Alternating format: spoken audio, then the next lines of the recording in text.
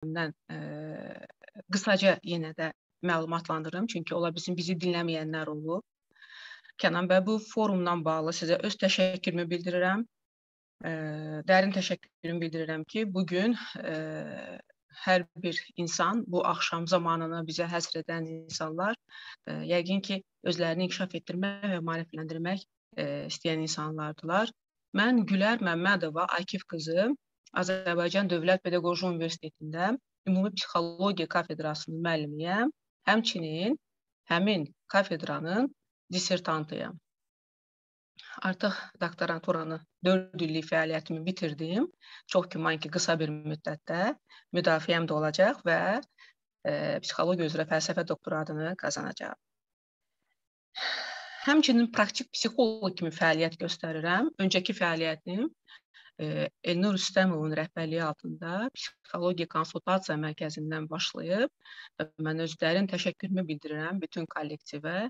İlk öncə mən bizim alimimiz, professorumuz, Allah ona qəni-qəni rəhmət eləsin, Əbdüləlizadəyə, mənim müəllimim, bakalavr təhsilində müəllimim, hansı ki, o Əbdüləlizadə ki, bütün ailə məktəblərində Əkbər Bayramovla birgə ə, bakalavr pilləsində psixologiya kitabını yazmışdım. Mən o qədər böyük fəxrlə, qürur hissi keçirirəm ki, həmin Əbdüləlizadə çox gözəl insan mənim müəllimim olub.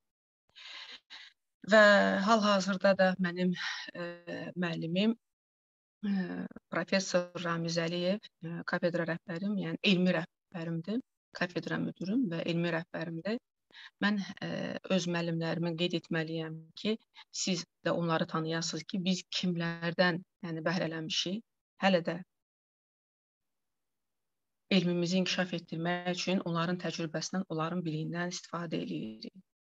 Deməli, praktik psixoloq olaraq mənə bu forumda iştirak etmək, e, necə deyirlər, təklif olundu. Mən çox sevə-sevə qəbul elədim.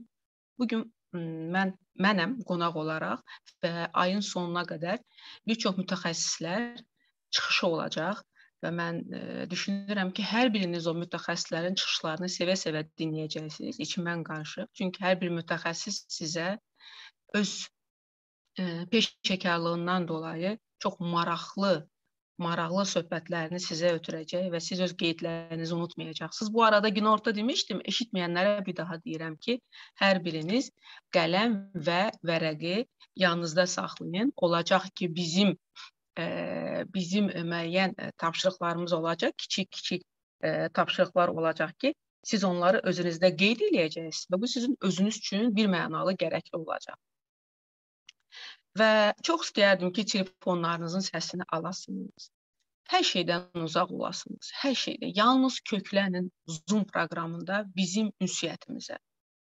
Belə olmadığı təqdirdə fikirləriniz dağılır, dağılır və siz özünüzün fərqində ola bilmirsiniz. Necə ki bizim mövzumuz fərqindəlik və mən mövzusu.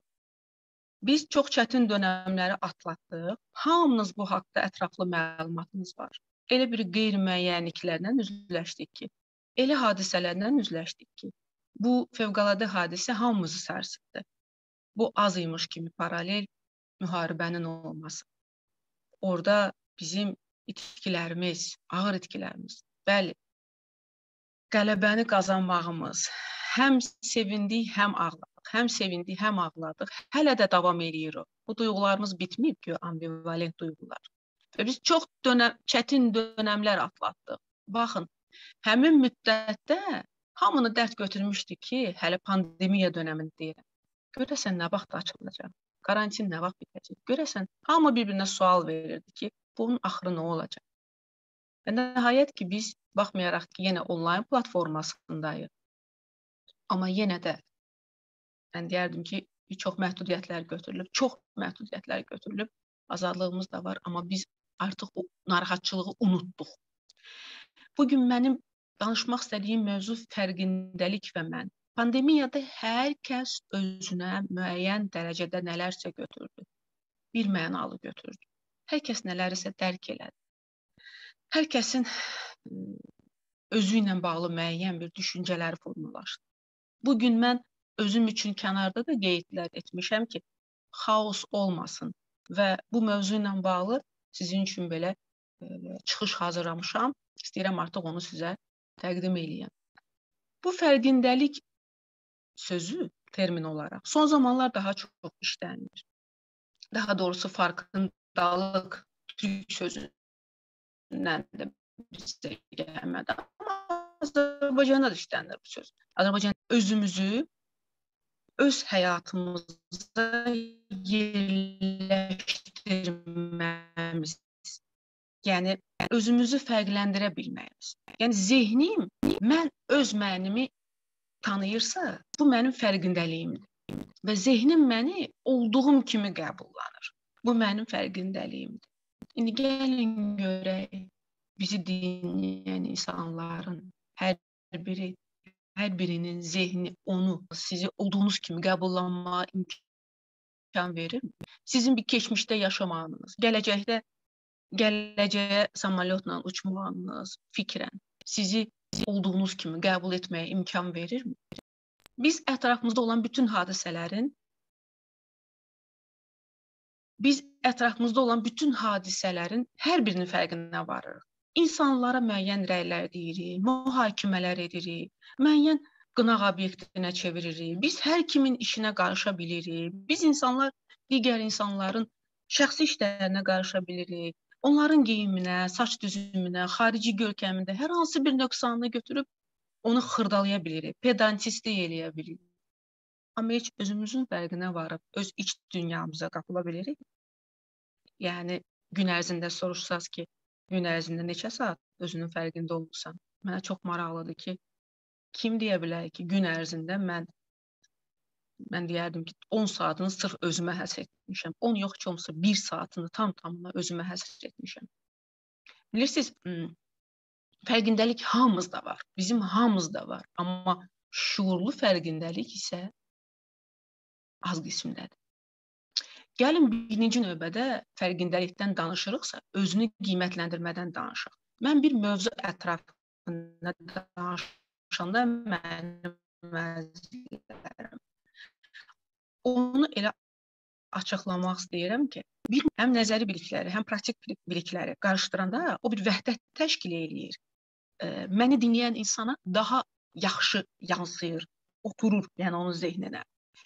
Və birinci özünü qiymətləndirmədən başlayaq ki, bizim özünü qiymətləndirməmiz nə vaxtdan başlayır? Bu necə bir prosesdir? Özünü qiymətləndirib bu bizim özümüzü nə qədər dəyərli hiss etməyimizlə əlaqədardır.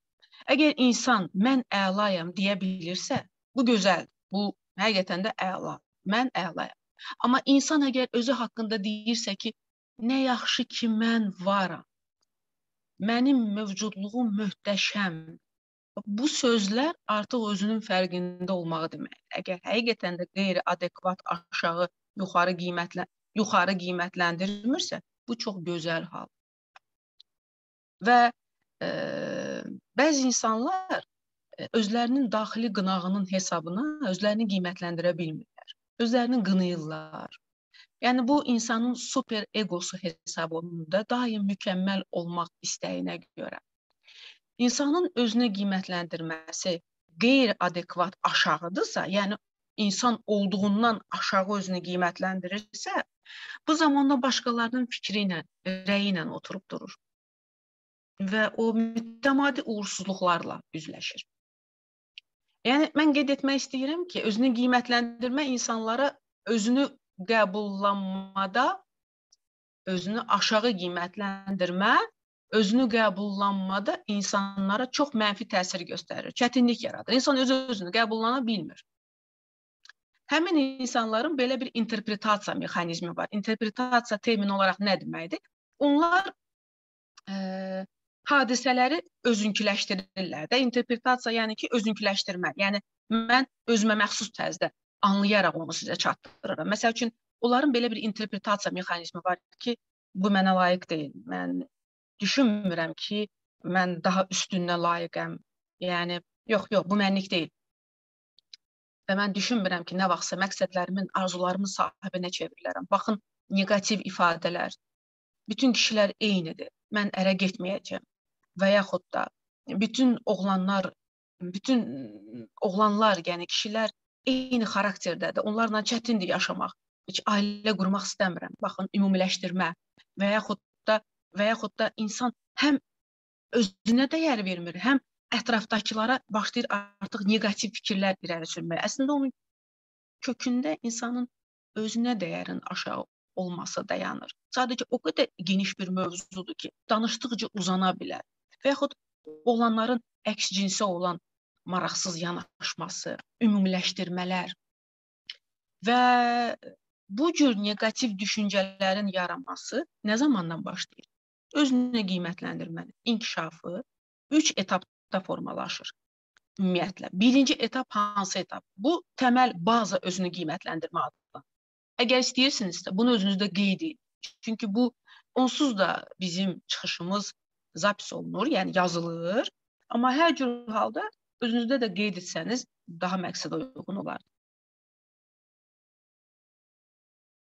Təməl, yəni baza özünü qiymətləndirmə nə deməkdir? İnsan doğulduğu andan yaş yarımına kimi, 2 yaşına kimi bu yaş, yəni insan özünü ə, e, ayrıca varlıq kimi hiss eləmir də. Orada bir ana var, bir də uşaq var. Qalan hamısı onun üçün əlavə varlıqlardır. Atadır, bacı, qardaş, nənə, baba hamısı. Və ana ilə o bütündülər. Yəni onlar hamısı qalan hamısı arxa planda. Və burada qarşılıqlı münasibətə uşaq emosiyalarla reaksiya verir. Artıq ə, ananın onu əzizləməsi, sevməsi, yəni o düşüncələrlə deyil də emosiyalarla reaksiya verir. Nəzərə alsaq ki, hələ təfəkkürü hələ yeni-yeni inkişaf etməyə başlayır, nələrisə öyrənmək istəyir, ola bilsin soruşur. Məs bax elə bu emosiyalar onun özünə qiymətləndirməsini formalaşdırır. Təməl özünü qiymətləndirməyə təsir edən əsas amillər, faktorlar bilirsiniz nədir? Bu təhlükəsizdir, bu təhlükəlidir.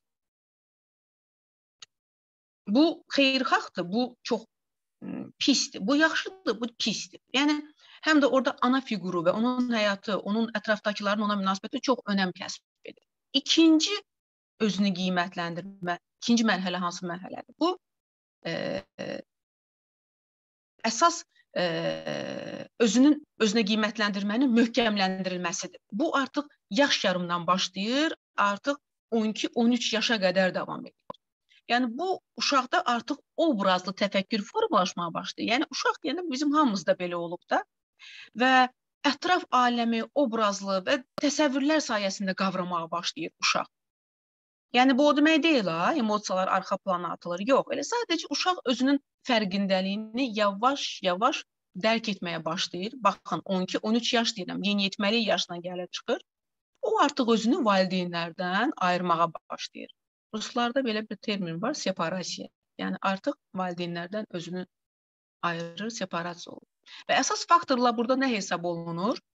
Valideynlərin övlada olan münasibəti, valideynlərin bir-birinə olan münasibəti. Bax, bu həmin o övladın özünə qiymətləndirməsində müsbət təsir, bir mənalı təsir göstərir. Müsbət və ya mənfi. Burada e, bir çox faktorlar böyük rol oynayır. Üçüncü özünə qiymətləndirmənin intellektual korreksiyası.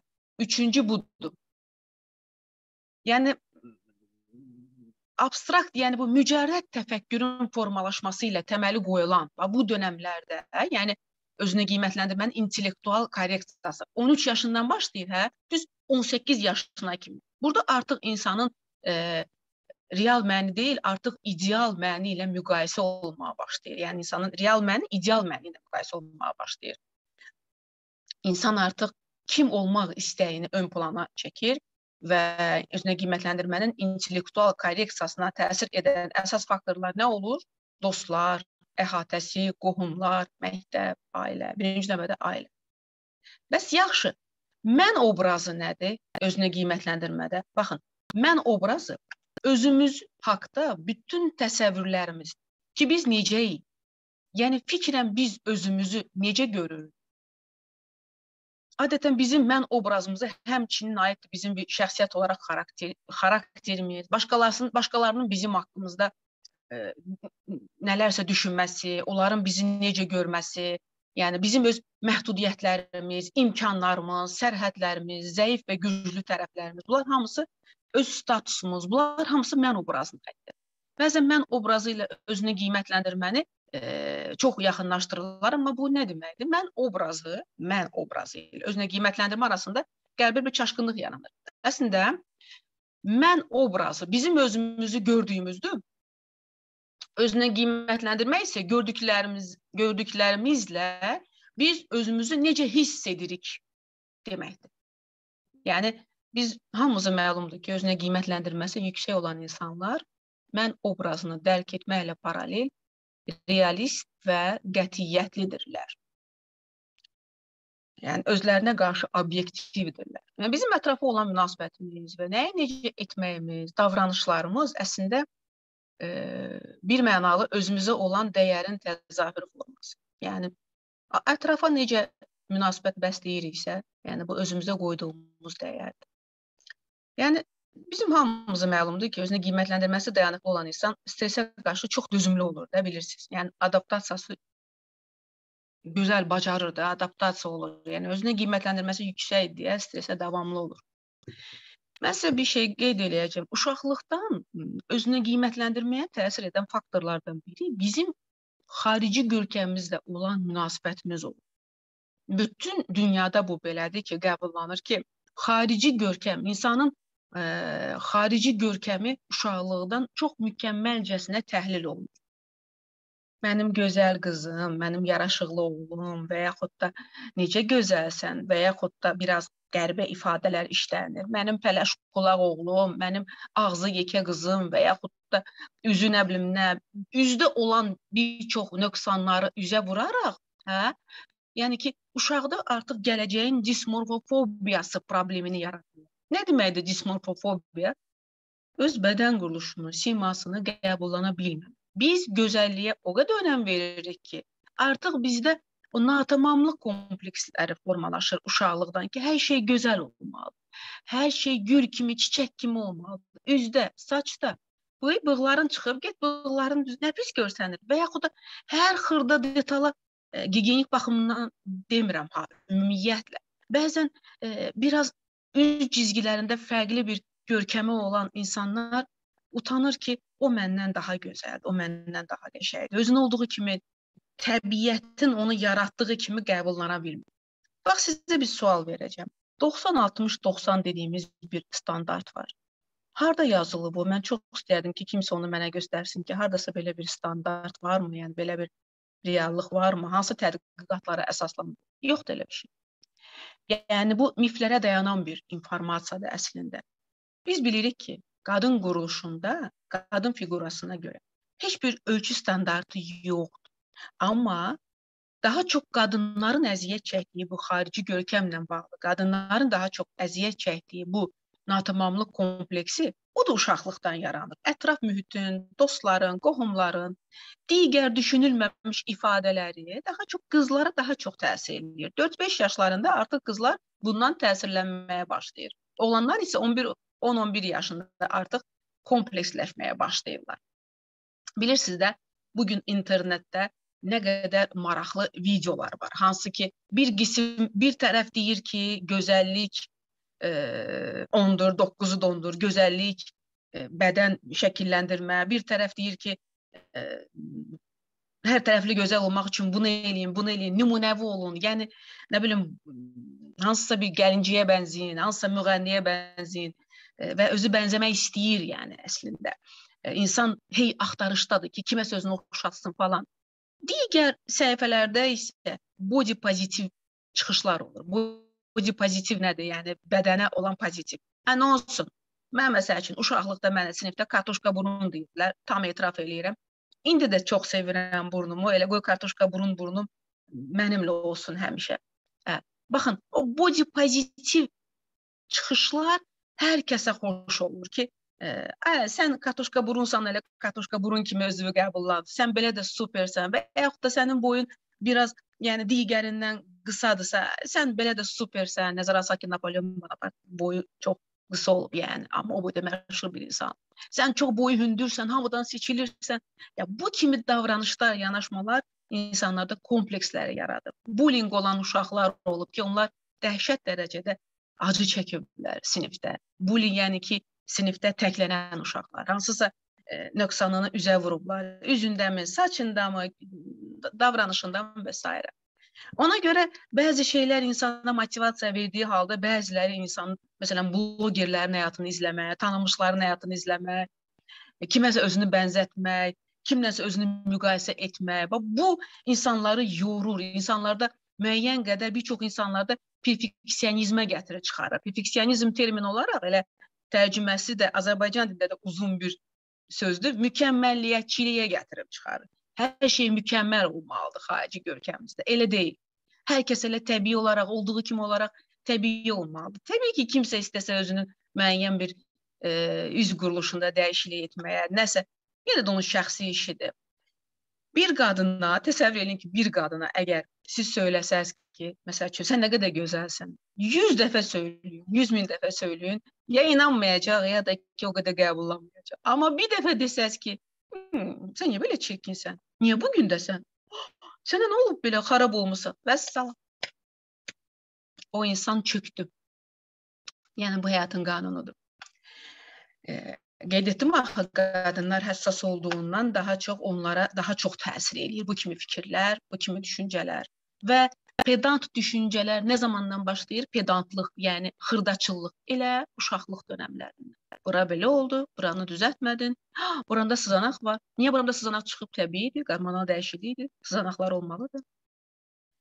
Yəni bir maraqlı yanaşmada var da, insanları çaşqınlığa salır, onu qeyd eləyəcəm. Bu insanın özünü dəyərləndirməsində, özünü qiymətləndirməsində e, çox həddindən artıq təsir göstərir. Bu konsumerizmdir. Konsumerizm terminini bilməyənlər özündə qeyd etsinlər. Konsumerizm ifrat dərəcədə e, istifadəçi, yəni e, istifadəçilik.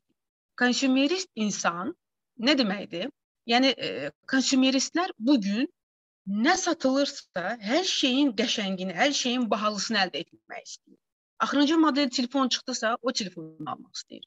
Bunda bu geyimi gördüsə, bu markanı gördüsə, onu almaq istəyir. Yəni o qədər xırdaçılığa gedir artıq insan. Görür, istəyir, görür, istəyir. Valideynlər kreditə girir, uşağım o uşaqdan geri qalmaq istəyir. Bəlkə də uşağın o qədər marağında deyil. İstəyir və yaxud da ya da istəyir, israrlı istəyir ki, mənim iPhone ən axırıncı modelim olmalıdır və s. və s.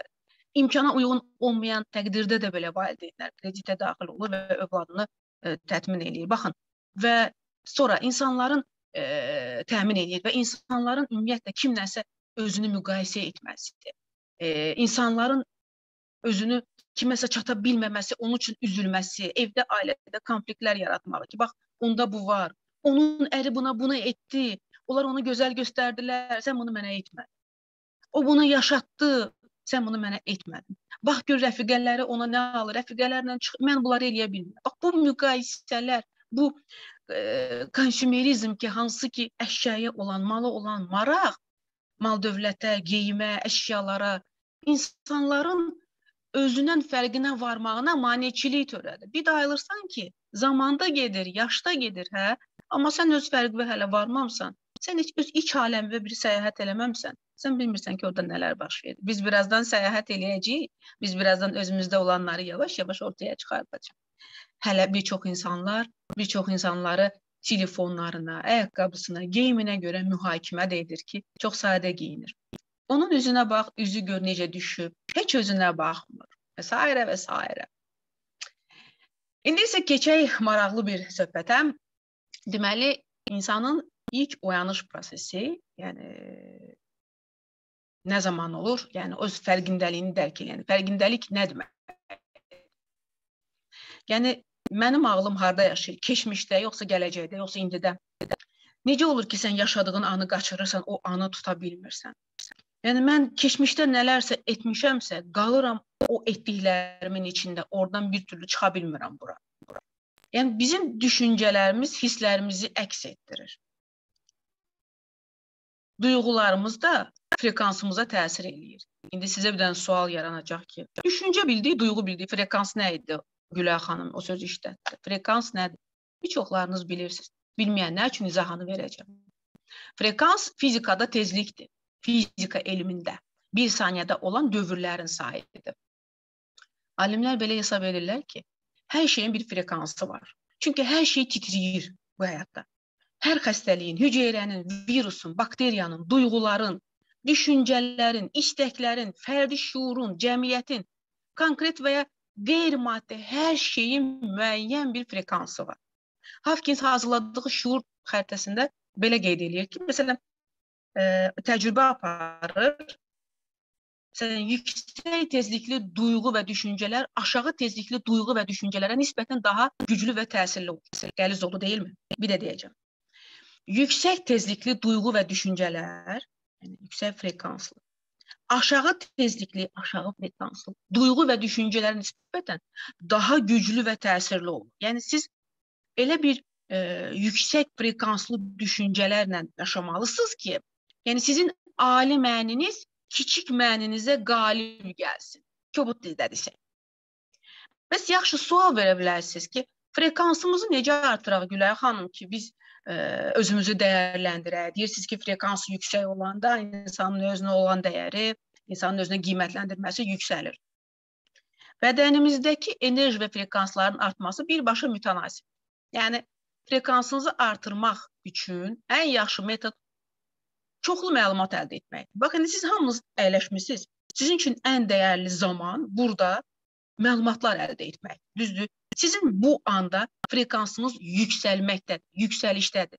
Frekansınızın titreşimi də bilmirəm neçə hertzdir, amma yüksəklərə qalx. Ona əmin olun. Amma mən istəyirəm ki, bütünlüklə zehniniz bu mövzuya konsentrə olsun.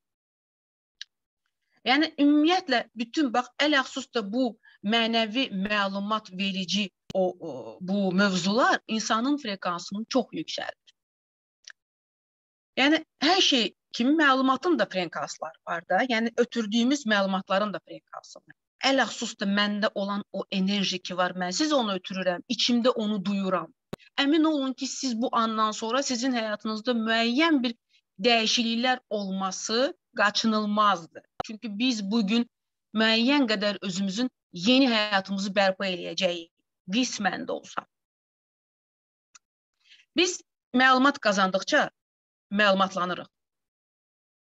Yəni bu dəqiqə siz məlumatlanırsınız. Və frekanslarınızı yüksək tutmaq üçün orada olan aşağı titreşim hissələrdən, düşüncələrindən uzaq durmaq lazımdır və özümüzü qeyd etdiyim kimi bayaq yüksək frekans hisslərinə yönəltməliyik. Məsələn, kin, nifrət və qəzəb kimi hisslərin əvəzinə onu əvəzləyirik nə ilə? Barış, sevinc, hüzur. Yəni bu kimi hisslərə buraxırıq ki, bizim frekansımız yüksəlsin. Amma kin, nifrət, qəzəb bizi daha da daha da qıcıqlandırır. Qeyd elədik ki, enerji və frek enerji və frekansınızı birbaşa mütənasib hesab edirik, düzdürmü? Yəni biz enerjimizi artırmaq üçün elə bir meditasiyalar eləyirik, müəyyən yoqaya gedirik, meditasiyaya gedirik, yorğun olanda, yanma sindromu olanda, yəni özümüzlə barışa bilməyəndə, özümüzlə küsəndə, o qədər təlimlər var, o qədər resurslar var ki, istifadə edə bilirsiniz. Yəni hər şeyin enerji frekansı olduğunu qeyd etdik. Bax bunu mən sizə bildirdim. Və bədənimiz də təbii bir frekansa sahibdir. Bədənimiz də. İndi mən sizə frekans haqqında bu qədər məlumat verdim. Xahiş edirəm, daxil olun YouTube-da, frekans yazın. O qədər sizə ətraflı məlumat gələcək. O sizin həyatınıza birbaşa təsir göstərəcək.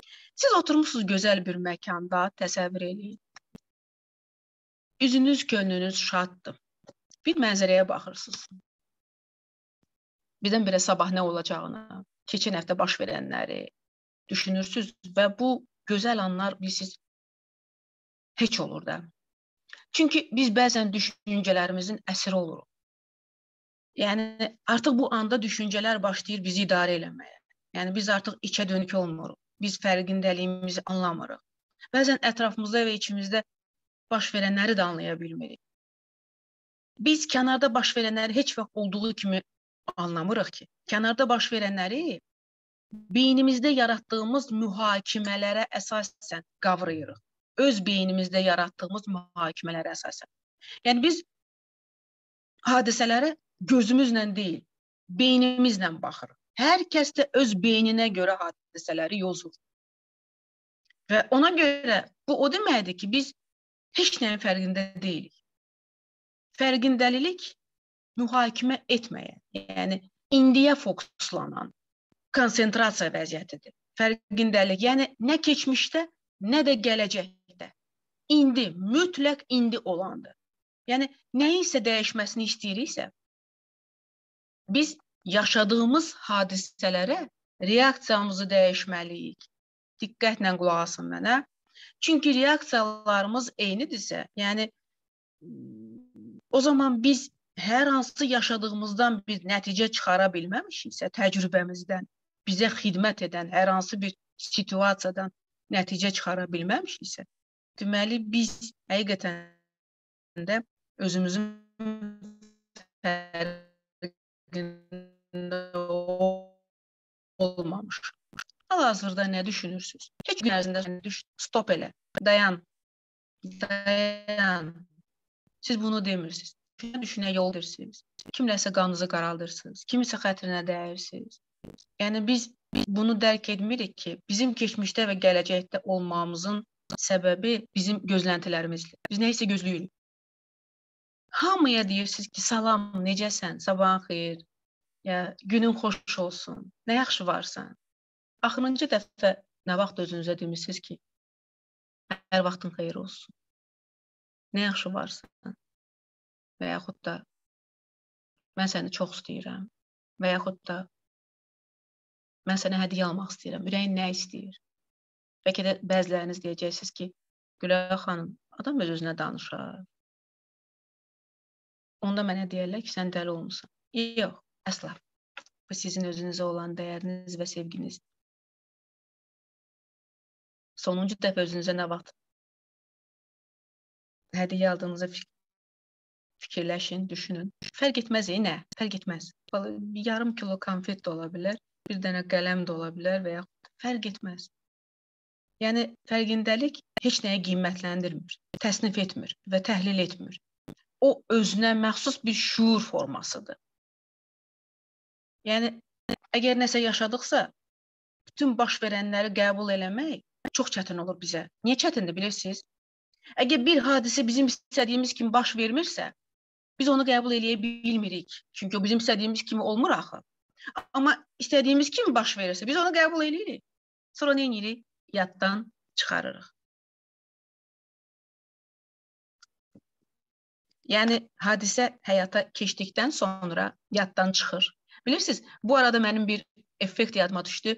E, psixologiyada belə bir e, gözəl bir e, psixoloq olub, Zeygarnik o xanım çox gözəl bir fikir söyləyib ki, ödənilməyən tələbatlar heç vaxt yaddan çıxmır. O tələbatlar ki, yaddan çıxmır, o ödənilmir. Ey, 60 yaşına kimi də olsa, 70 yaşına kimi o tələbatlar ödənilməyibsə, uşaqlıqda ona velosiped almayıbsa, o heç vaxt unudulmayacaq. Amma əgər uşaqlıqda ona velosiped alınmayıbsa, o ona 16 yaşında əldə edirsə, deməli o tələbat ödənildi və unuduldu. Onun artıq xiffətini çəkmir insan. Biz qazandığımız təcrübələri də bəzən belə unuduruq. Qazanırıq o təcrübələri, sonra onu digər situasiyalara tətbiq edə bilmirik. Təcrübələri necə qazanırıq? Yıxıla-yıxıla. Əziyyət çəkə-çəkə. Amma niyə yıxılırıq? Niyə əziyyət çəkirik? Onu da sizlə həll eləyəcəyik. Baxın, biz tutaq ki, mən mən həmişə bunu qeyd edirəm, su içirəm. Biz su içəndə heç vaxt düşünmürük ki, mən su içirəm. Biz bunun fərqinə varmırıq. Mən düşünmürəm ki, tez tələsi içirəm. Düşünmürəm ki, su hara getdi, hə? Bu sudur, çox şəffafdır. Tərtəmiz sudur. Biz bunu içirik. O su bədənin müəyyən bir nahiyəsindən keçir, keçir, keçir, sonra bədənimizdən xaric olur. Xaric olan suyu biz ikinci dəfə qəbul eləyə bilmərik. Bədənimizin elə bir hissələrindən gəlib keçir ki, artıq artıq bir maye kimi olur. Bizdən xaric olur. Həmin o şəffaf su. İnsan yaşadıqca, yaşadıqca o qədər çətinliklərə düşür, o qədər əziyyətlər çəkir ki, düşünür ki, yox, su kimi şəffaf qalmalı. Elə bir şey yoxdur. Bəzən biz fərqindəlik prosesinə girəndə olanların fikir və hisslərini yəni bu, bu fikir və hisslərimizi fərqindəlik prosesinə gedəndə yəni başqa heç kimi mühakimə eləmirik. Özümüzü də mühakimə eləmirik. Yəni nə zaman fərqindəlik yaranır? O zaman ki mən yaşadıqlarımı dərk edəndə özümə suallar verəndə yavaş-yavaş hazırlaşın. Mən yaşananı e, sürətli şəkildə təhlil etmək, mühakimə etməyin heç bir əhəmiyyəti yoxdur. Onsuz da özünüz görürsüz ki, son zamanlar informasiyalar, hər hansı bir hadisə baş verir, insanlar onu başlayır mühakimə etməyə. 2-3 gündən sonra o hadisə yaddan çıxır, digər hadisə gəlir. Unudulur, amma həmin hadisə o qədər bərbad bir hadisə idi, o qədər ayıb bir hadisə idi, qorxulu, acınacaqlı, amma unudulur. Məsələn, biz özümüzdə narahatlıq, kədər və qəzəb kimi mənfi düşüncələrə qarşı, yəni dözümsüz oluruq bəzən. Amma fərqindəlik bizdə bu dözümlülüyü artırır, artırır.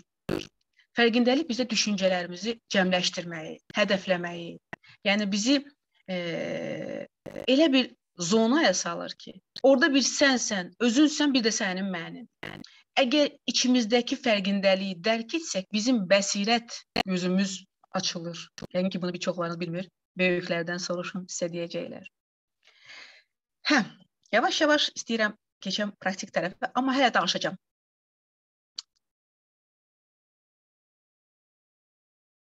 Bəzən Mövlanənin də fəlsəfəsində, yəni ətrafdakı insanlara çox baxırıq, özümüzə az baxırıq. Mən kiməm? Nə üçün? Bu mən mənim surətim olduğum kimidir. Mən təbiiyəm. Yəni biz öz surətimizə diqqətlə fikir vermirik. Güzgüdə özümüzlə danışmırıq.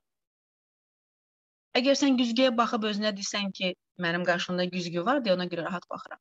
Qarşıda e, güzgüyə baxıb desən ki, mən səni çox sevirəm. Bəziləriniz buna deyirsiniz ki, e, mən eşidilirəm. Kənan bəy, Yəni Bəli, bəli Gülər xanım, hər şey eşidirik. Güzgüyə baxıb deyirsiniz ki, mən səni sevirəm. Yəni özünüz özünüzə deyirsiniz. Amma ola bilsin ki, bəzi insanlar bunu deyir də, amma birdən-birə ona hansısa bir hadisə yadına düşür, başlayır özünü günahlandırmağa. Və sən əgər sən özünü günahlandırırsansa, özündə hər hansı bir səhv görürsənsə, özünü bağışlamamısansa, özünü necə sevə bilərsən? Bəzən biz həyatımızdakı faktları aydın görə bilmirik. Çıxış yolu tapmaqda çox çətinliklər çəkirik. Yəni bu da bizim enerjimizi mənəvi cəhətdən çox aşağı salır. Elə frekansımız da aşağı düşür.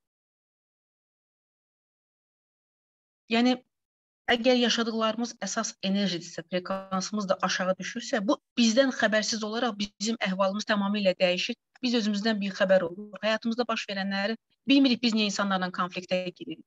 Niyə sözümüz çəp gəlir? Niyə özümüzü bəyənmirik? Niyə mütəmadi mübahisələr edirik? Qarşı tərəfin sözü bizə ə, e, zəhər kimi gəlir. Niyə? Çünki biz axına qatıla bilmirik. Biz insanlar olduğu kimi qəbullana bilmirik. Biz hər şeydə nəsə neqativ axtarmağa çalışırıq.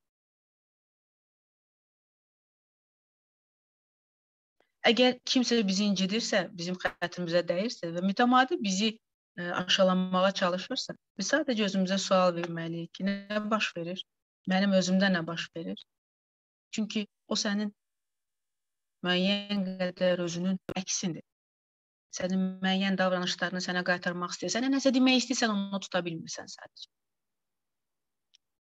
Bəzən kiminləsə mübahisə edəndə çalışın həmin zonanı tərk edin. Yəni geri addım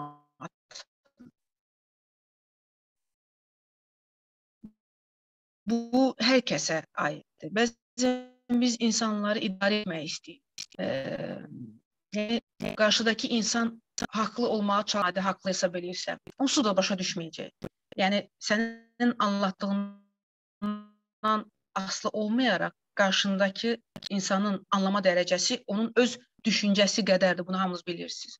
Yəni siz qarşınızdakı insanla eyni frekansda deyilsinizsə, bir şeyləri anlatmaqda icraçı olmayın.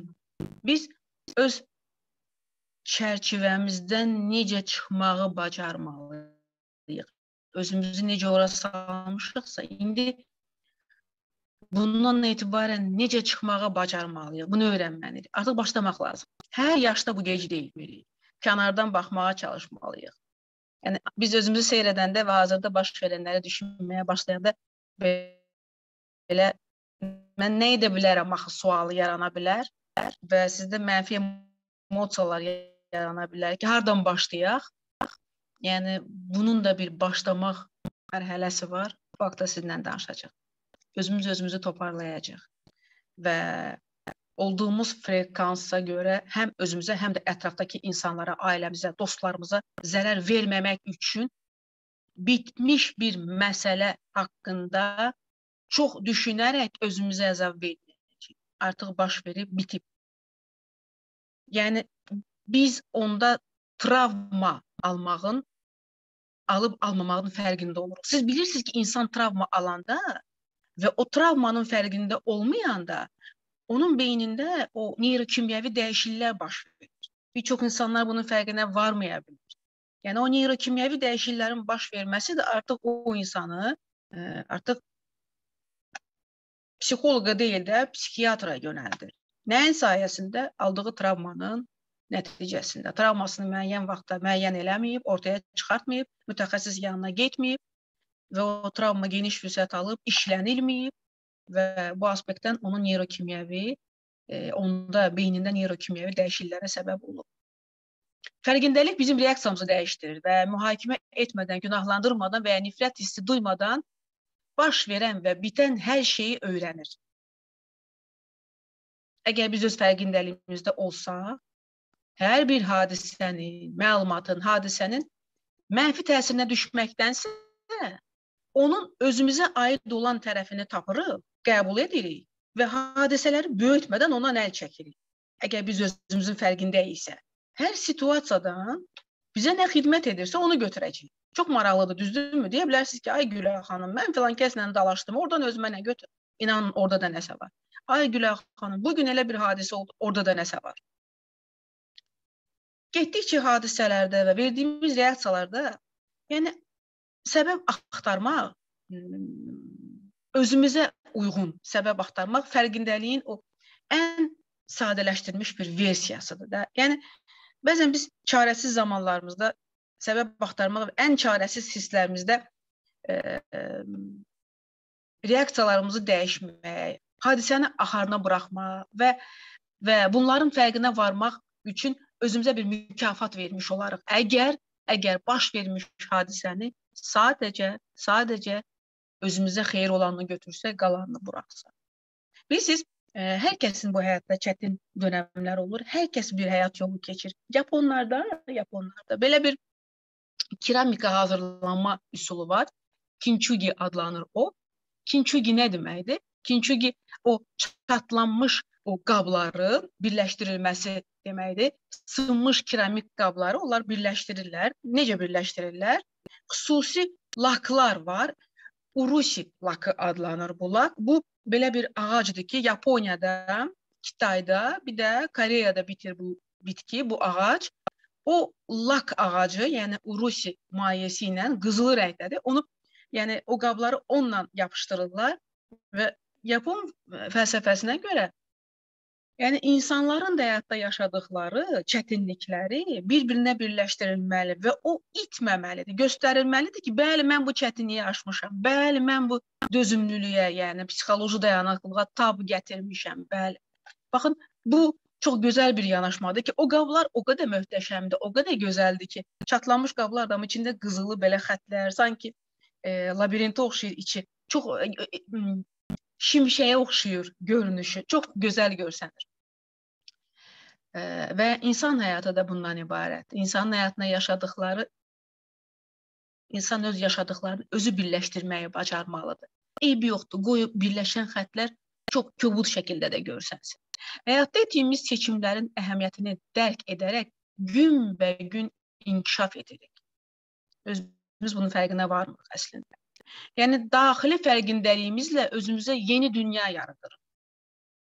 Əslində yəni daxilimizdə yaratdığımız xaricimizdə canlanır. Əgər sən daxilində neqativləri köklüyürsənsə, mütəmadi deyinirsən, mütəmadi problemlərdən, neqativlərdən danışırsan, yəni o zaman sənin bütün xaricinə yansıyan, yansıyan sima, görüntü çox bərbad olacaq.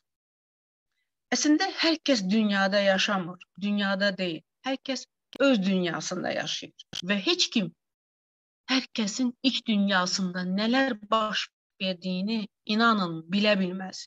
Bu hər kəsin daxilində baş verir. Qismən yorğunluq görünə bilər, qismən nifrət görünə bilər, qismən nəsə görünə bilər. Amma soyuqluq görünə bilər, amma iç dünyası insanın özünə aiddir. Vizual olaraq gördükləriniz yalnız elə gördüyünüzdür. Və sizi də heç kim görmür xaricdən. Siz nələr yaşayırsınız?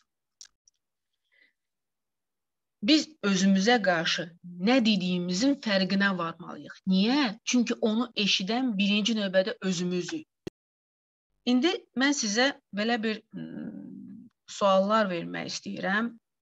Belə bir sual ki, öncə öncə belə bir sxemi anlatmaq istəyirəm. Çox maraqlı sxemdir.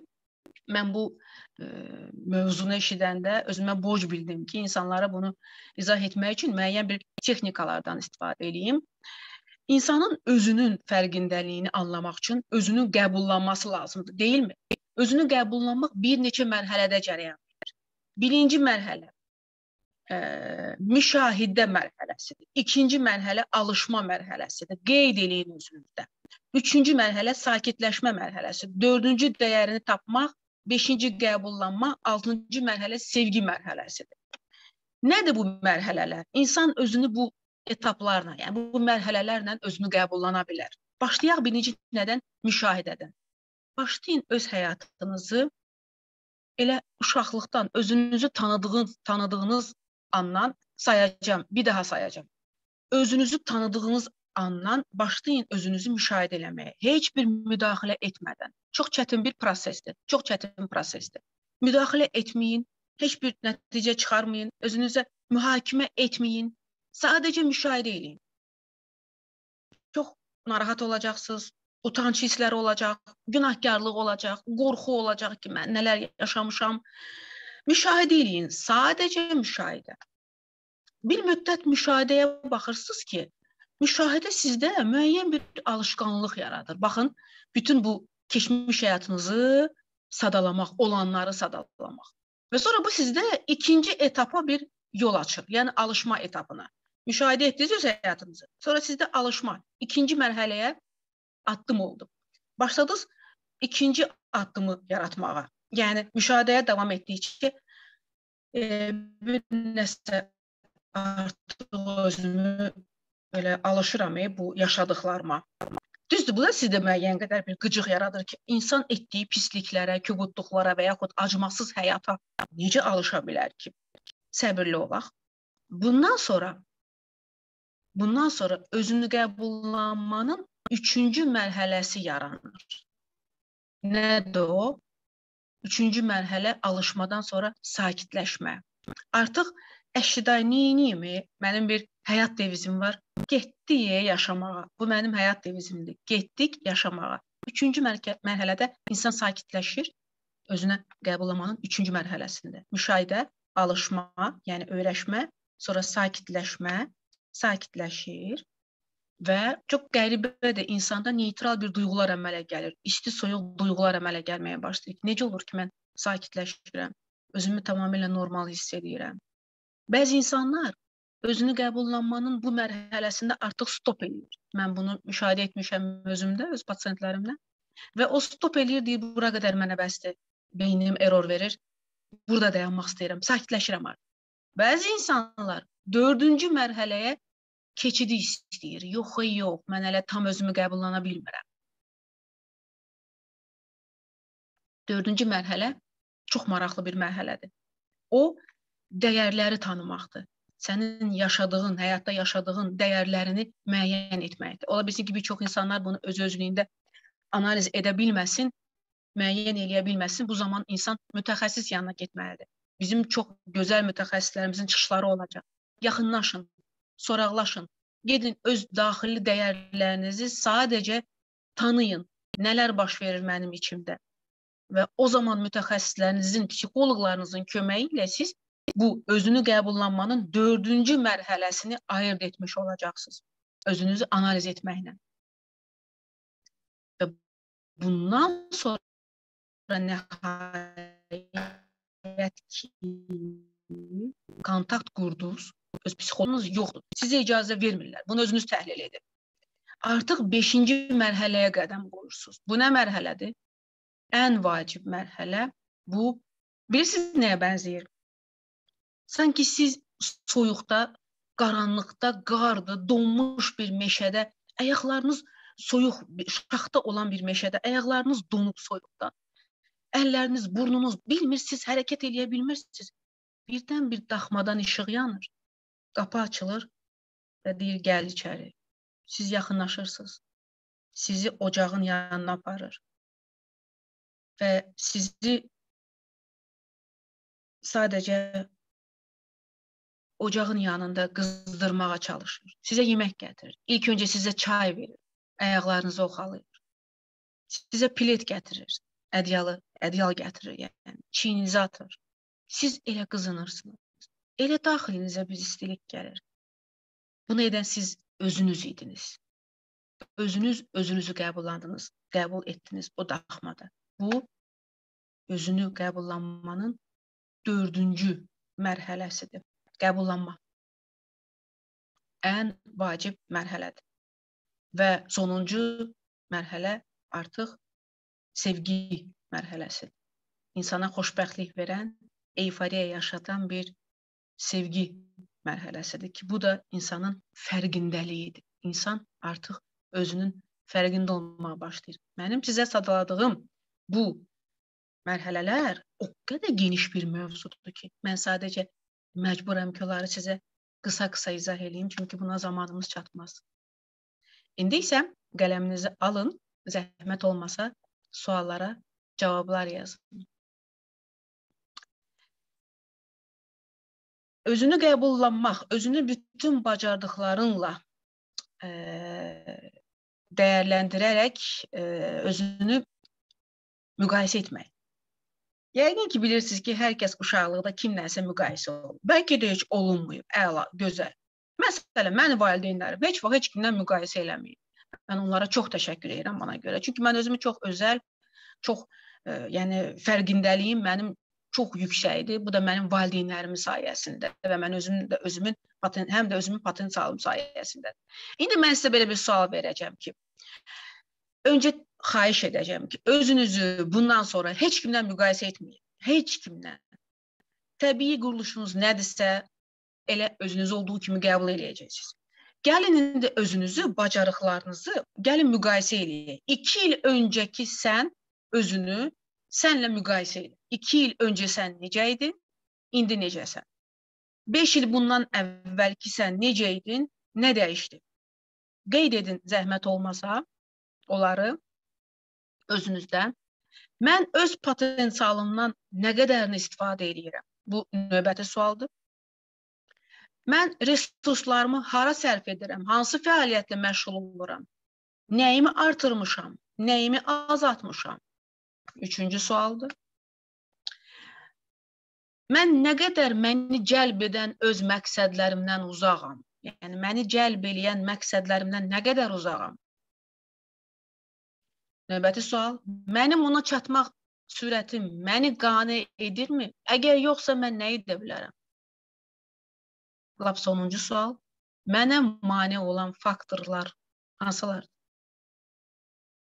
Yəqin ki, bu sualları sürətli demədim, yaza bildiniz.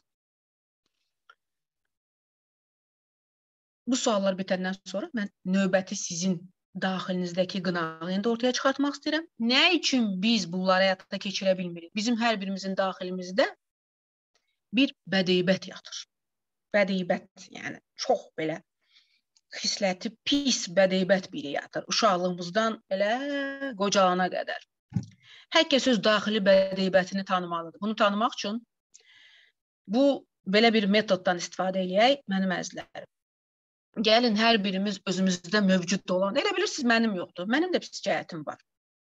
Yəni o mənə aiddir. Gəlin hər birimiz sadəcə ə, özümüzdə olan mənfi cəhətləri bir siyahı ilə yazaq alt-alta. Biz siyahı tutanda, o yazıları yazanda biz o həmin o mənfi cəhətlərin hamısını bütövləşdirək, bir dənə həyatda olmayan bir heyvan obrazı yaradaq. Gəlin bunu təsəvvür eləyək. Baxın, bütün mənfi cəhətlərinizi, sevmədiyiniz, sizə utancaqlıq yaşadan, sizə neqativlik yaşadan, sizi bu həyatda irəli getməyə imkan verməyən, sizə passivlik yaşadan, sizi özünüzü sevməkdə maneçilik törədən düşüncələrinizin hamısını, ümumiyyətlə keçmişdə yaşadıqlarınızın hamısını toplayın bir dənə ya bir heyvana çevirin onu. Mövcud olmayan bir heyvana. Elə insana da çevirə bilərsiniz. Amma ona siz ad qoymalısınız. Özünüzdə qeyd eləyin onu. Ona bir ad qoyun. Və başlayın o bət-heybətlə monoloqa. Yəni monoloq bilirsiniz də nədir? Yəni sanki siz özünüzlə danışmağa başlayırsınız. Necə yaşayırsan? Nə baş verir səndən? Niyə bu gündəsən sən? Niyə özü bu günə qoyursan? Nə axtarırsan? Nəyə çata bilmirsən? Çox maraqlıdır. Siz onda o qədər ağıllı olacaqsınız ki, o qədər zəkalı olacaqsınız ki, elə gözəl suallar çıxacaq ki, sizin içinizdən. Bəlkə də ağlaya biləcəksiniz, kövrələcəksiniz. Amma siz öz bədiheybətinizlə çox gözəl söhbət eləyəcəksiniz. Və bilirsiniz, elə acınacaqlı baxışlarla sizə baxacaq heç özü də bilmir nə istəyir. Və siz bu anda ona yardımcı olacaqsınız. Ona nə istədiyini tapmaq üçün, öz fərqindəliyini tapmaq üçün siz ona yardımcı olacaqsınız. İkinci etapda bu qismən bunu yüngülləşdirək. Bu qurduğunuz siyahını, qurduğunuz bədəybətə belə bir sual verirsiniz. Nə zaman səndə bu keyfiyyət yarandı? Yəni kimi ilə, nə ilə əlaqədardır və niyə baş verdi bu? Sənin bu yaşantıların sənə elə həmin anda mı təsir etdi, yoxsa yavaş-yavaş təsir etməyə başladı? Niyə bu keyfiyyətləri özündə qəbul etmək bu qədər çətindir sənə? Niyə belə acınacaqlı baxışlarla baxırsan? Və siz çalışın özünüzü aldatmayın. Hansı emosiyaları yaşayırsınızsa onları yaşayın. Aldatmayın özünüzü. Gözünüzün yaşını silməyin. Yəni ağlayın. Burnunuzun suyu gözünüzün yaşına qar qarışsın. İçinizdən gələn düşüncələrinizi açın, dökün, yazın, yazın. Utanmayın öz içinizdən. Çünki bu sizsiniz, bu sizə aid olan. 10-15 dəqiqə bu düşüncələr haqqında sadəcə fikirləşin. Sadəcə fikirləşin. Vəssalam. İndi isə mən sizə hamısı bir tərəfə maraqlı bir şey məqaləm var idi mənim. Ondan haşiyə çıxmaq istəyirəm. Yormuramsa sizi. Biz niyə küsürük bir-birimizdən? Mən belə bir məqalə yazmışdım illər öncə. O zaman psixologiya elmi tədqiqat institutunda fəaliyyət göstərirdim. Məqaləni çox sevmişdim. Hətta institut öz səhifəsində də onu yəni e, təqdim etmişdi. O zaman Çox sevirdim bu məqalə hələ də öz dəyərini itirməyib mənim üçün. İnsanlar həmçinin tək qalmaqdan qorxduqları üçün daim birgə yaşamı üstün tuturlar. Dost olurlar, ailə qururlar, qohum olurlar, övladları olur, münasibətlər yaradırlar. Sevib, sevilib, ayrılıb, üzülüb, barışıb, sevinirlər. Bəs niyə küsürlər insanlar bir-birindən? Küsmək nədir? Niyə bu çətin həyatda elə tək qalmamaqları ilə mübarizə aparsalar belə sevdiklərini və özlərini üzürlər? Niyə insanlar rahat yaşamını təmin edərək başqalarını olduğu kimi qəbul edib dəyişdirməyə, ə, başqalarını olduğu kimi qəbul edib dəyişdirməyə deyil də öz keyfiyyətləri ilə yaşlanmağa imkan vermirlər. Nə üçün elə hər kəs özünə yaxşı olanı gözləyir, umur və alınmayanda üzülür, sarsılır və küsür. Və bu acılı prosesdə əvvəllər çörək kəsdiyi, öpüşüb qucaqlaşdığı, deyib güldüyü, sevincini, kədərini bölüşdüyü və s. yaxını ilə əlaqələri kəsir. Ondan uzaq gəzir. Görmək belə istəmir. Onu da, özünü də üzür. O olan yerdən uzaqlaşır. Hətta öz yaxınlarını küsüb incitdikləri ilə ünsiyyətinə qısqanır. Küsmək insanın daxilində yaratdığı obrazlı aləm modelinin çalarları ilə reallıqda yaşananlar arasında ahəngin pozulması özünə hörmətin həddindən çox kənardan gözləntisi və neqativ düşüncələrin yaranması özünə zülm vermək və s. deməkdir. Küsməyi tez-tez sevən insanlar həddindən çox həyata tələbatları olan insanlar. Onların istək və arzuları və xəyal, xəyalən qurduqları yaşantıları doğrulmadıkca bu cür xüsusiyyətli insanlar küsməyə üstün tuturlar. Küsmək prosesinə müxtəlif prizmadan yanaşmaq olar. Yəni insan temperamentinin, xüsusiyyətinin fərqli quruluşundan, cinslər arası münasibətlərdən, dünya görüşündən, dar əsəbi Yəni dünya görüşünün dar, əsəbi, səbirsiz olmasından yanaşmaq olar. Kökü uşaqlıqdan yaranır küsməyin.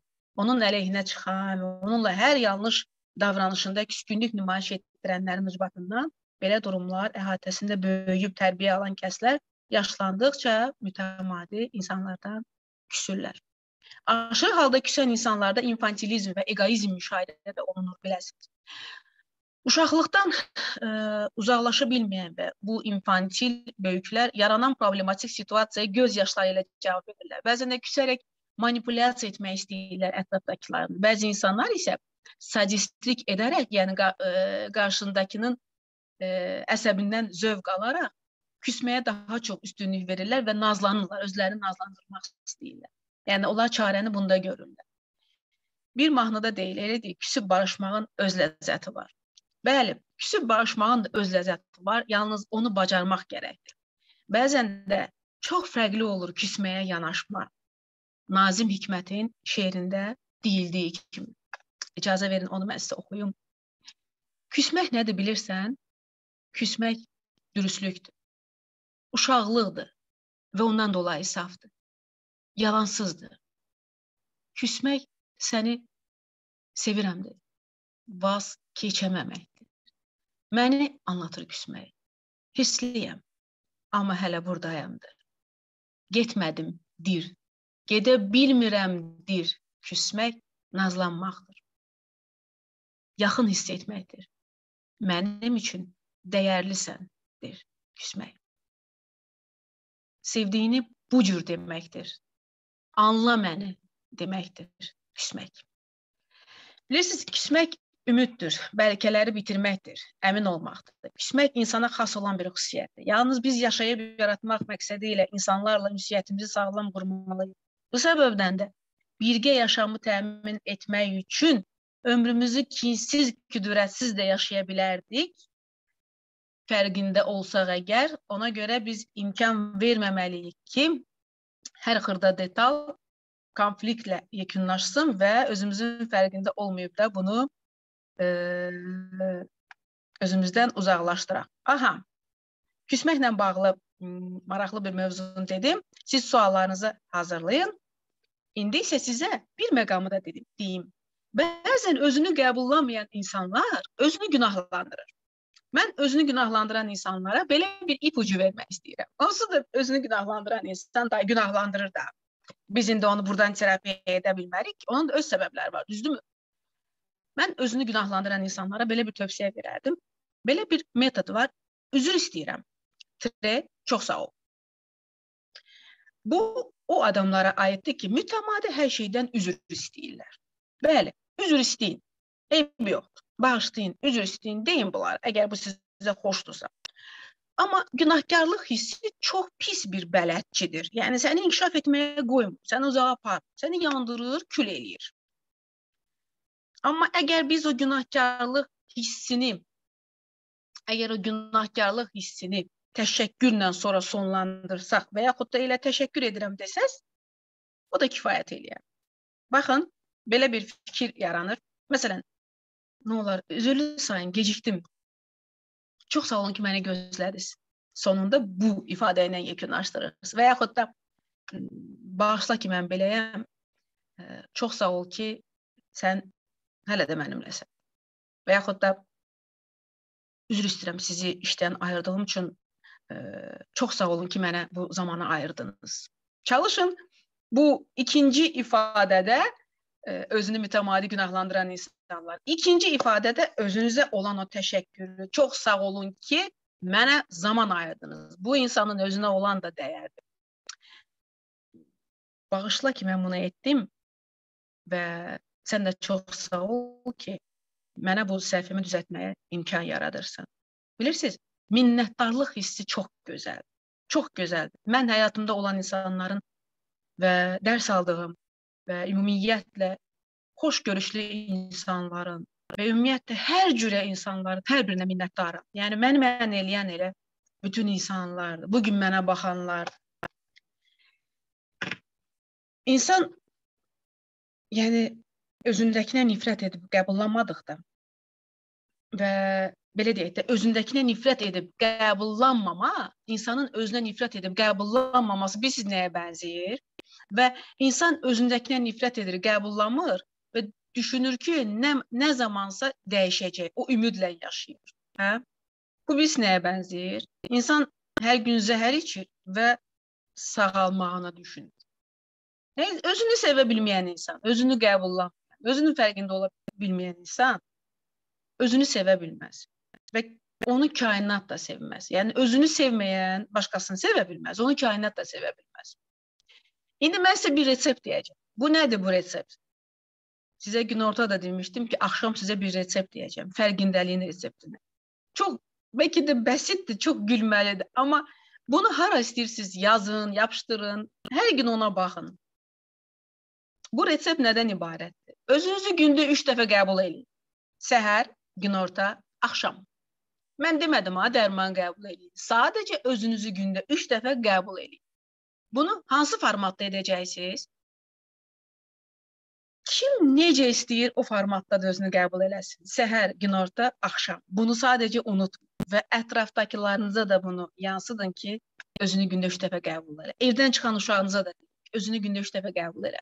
Özünü qəbul eləməyi unutma ha. Bu o qədər gözəl bir yanaşmadır ki və bunun da özünün metodları var. Ya güzgüdə dayanıb özünüzə səni çox sevirəm.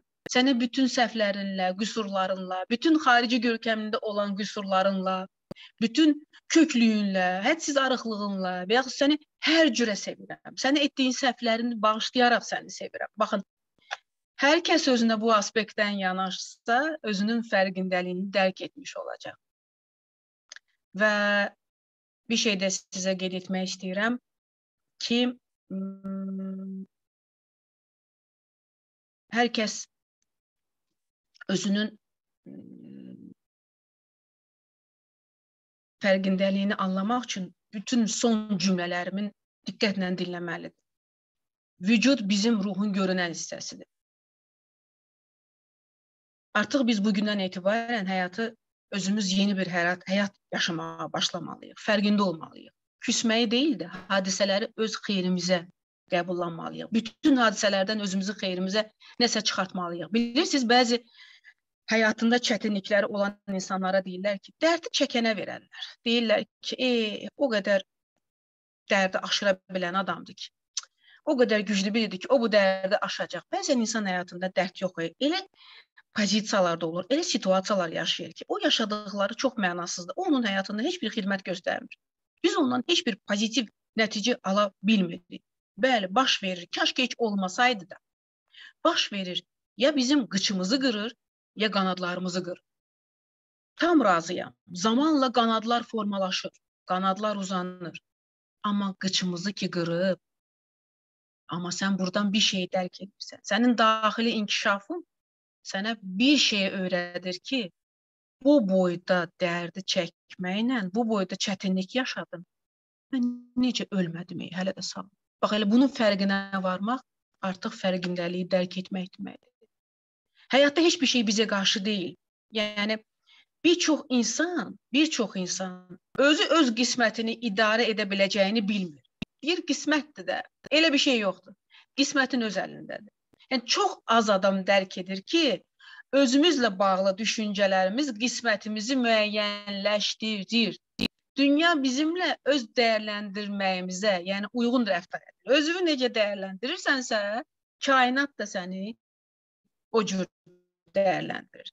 Yəni baxın, mənim özümün içimdəki müdriklik, mənim ehtiyatım heç vaxt bitməyən yaradıcı fikir və rəhbərlik mənbəyim. Yəni bu rəhbərlik, bu mə rəhbərlik mənbəyimi mən özüm ehtiyatım olanı və daha artığını insanlara bəxş etmək üçün istifadə edirəm. Bilirsən mən niyə zəngin insanam? Çünki mən ötürməyi bacarıram. Bilirsən niyə mən özümü çox zəngin hesab edirəm? Çünki mən özümü sevməyi bacarıram. Mən özümün fərqindəyəm deyə, özümün səhvlərimi də görə bilirəm. Düzlərimi də görə bilirəm. Qəbullanıram da. Deməli öncə müşahidə edirik, sonra alışırıq, sonra sakitləşirik. Dəyərlərimizi müəyyən edirik, qəbullanırıq və sevirik. Ən əsası qərarlı insan olmaq üçün içimdəki müdriklik sayəsində düzgün seçimlər əldə edirəm. İçimdəki zəka mənim üçün doğru olanı bilir. Seçim etməyimə mənə yol göstərir. Budur mənim fərqindəliyim. Sizdən bir xahişim olacaq. Bu psixoloq kimi deyil, bu pedaqoq kimi deyil. Sadəcə Gülər Məmmədova kimi gündə özünüzü 3 dəfə qəbul eləyin. Çox yox, gündə 3 dəfə. Bu hər hansı bir plasebo effektli dərmandan, hər hansı bir hmm, sakitləşdirici dərmanlardan daha dəyərli, daha önəmlidir özünüzü gündə 3 dəfə qəbul eləmək reseptini də ətrafınıza da yansıdın. Məni dinlədiyiniz üçün təşəkkür edirəm. Ola bilsin ki, kimlərsə kameranı bağlayıb da, səsi də bağlayıb, digər fəaliyyəti ilə məşğul olur. Əgər o fəaliyyətində onun səmərəsi varsa, ona da uğurlar diləyirəm. Məni dinləyənə də uğurlar diləyirəm və düşünürəm ki, bizim bu mövzumuzun müəyyən bir səmərəsi oldu. Kənan bəy, Mən sizi görmək istəyirəm, sizi eşitmək istəyirəm. Suallar var yəqin ki, sualları Salam, eşitmək... salam Gülər xanım. Bir də xoş gördük bütün izləyiciləri. Mən geri qayıtdım. Ə, ona görə birinci növbədə təşəkkür eləmək istəyirəm sizə ə, bu çox gözəl bir seminar üçün və ona görə də indi icazənizlə sualları açım. Daha sonra səsli səsli qoşulmaqları açdım. İzləyicilər artıq mikrofonlarını açıb sizə birbaşa səsli suallar verə bilər. Təbii ki, Gülər xanım, yorulmamısınızsa, sual-cavaba e, vaxtınız varsa, həvəsiniz varsa, e, Qətiyyən yorulmamışam. Buyursunlar. Çox sağ olun, minnətdaram. Sevə-sevə, sevə-sevə cavablandıracağam. Buyurun. Olar bir sual verim. Mən bir Bəli, eşidirəm. Buyurun, buyurun. Bir deyir sizə, məsələn, özünüzün fərqinə varın, özünüzü anlayın, müşahidə edin. Mən öz potensialımı da bilirəm, öz yəni bacarığımın həddini, hüdudunu da bilirəm, amma yenə də dəyişib o həmin olduğum yerə layiq pozisiyada dura bilmirəm. Bunu nə edeyim ki, düzəlsin? Neçə yaşınız var? 16. 16. 16 yaşında olan bir artıq gəncimiz bir siyahı tutmalıdır.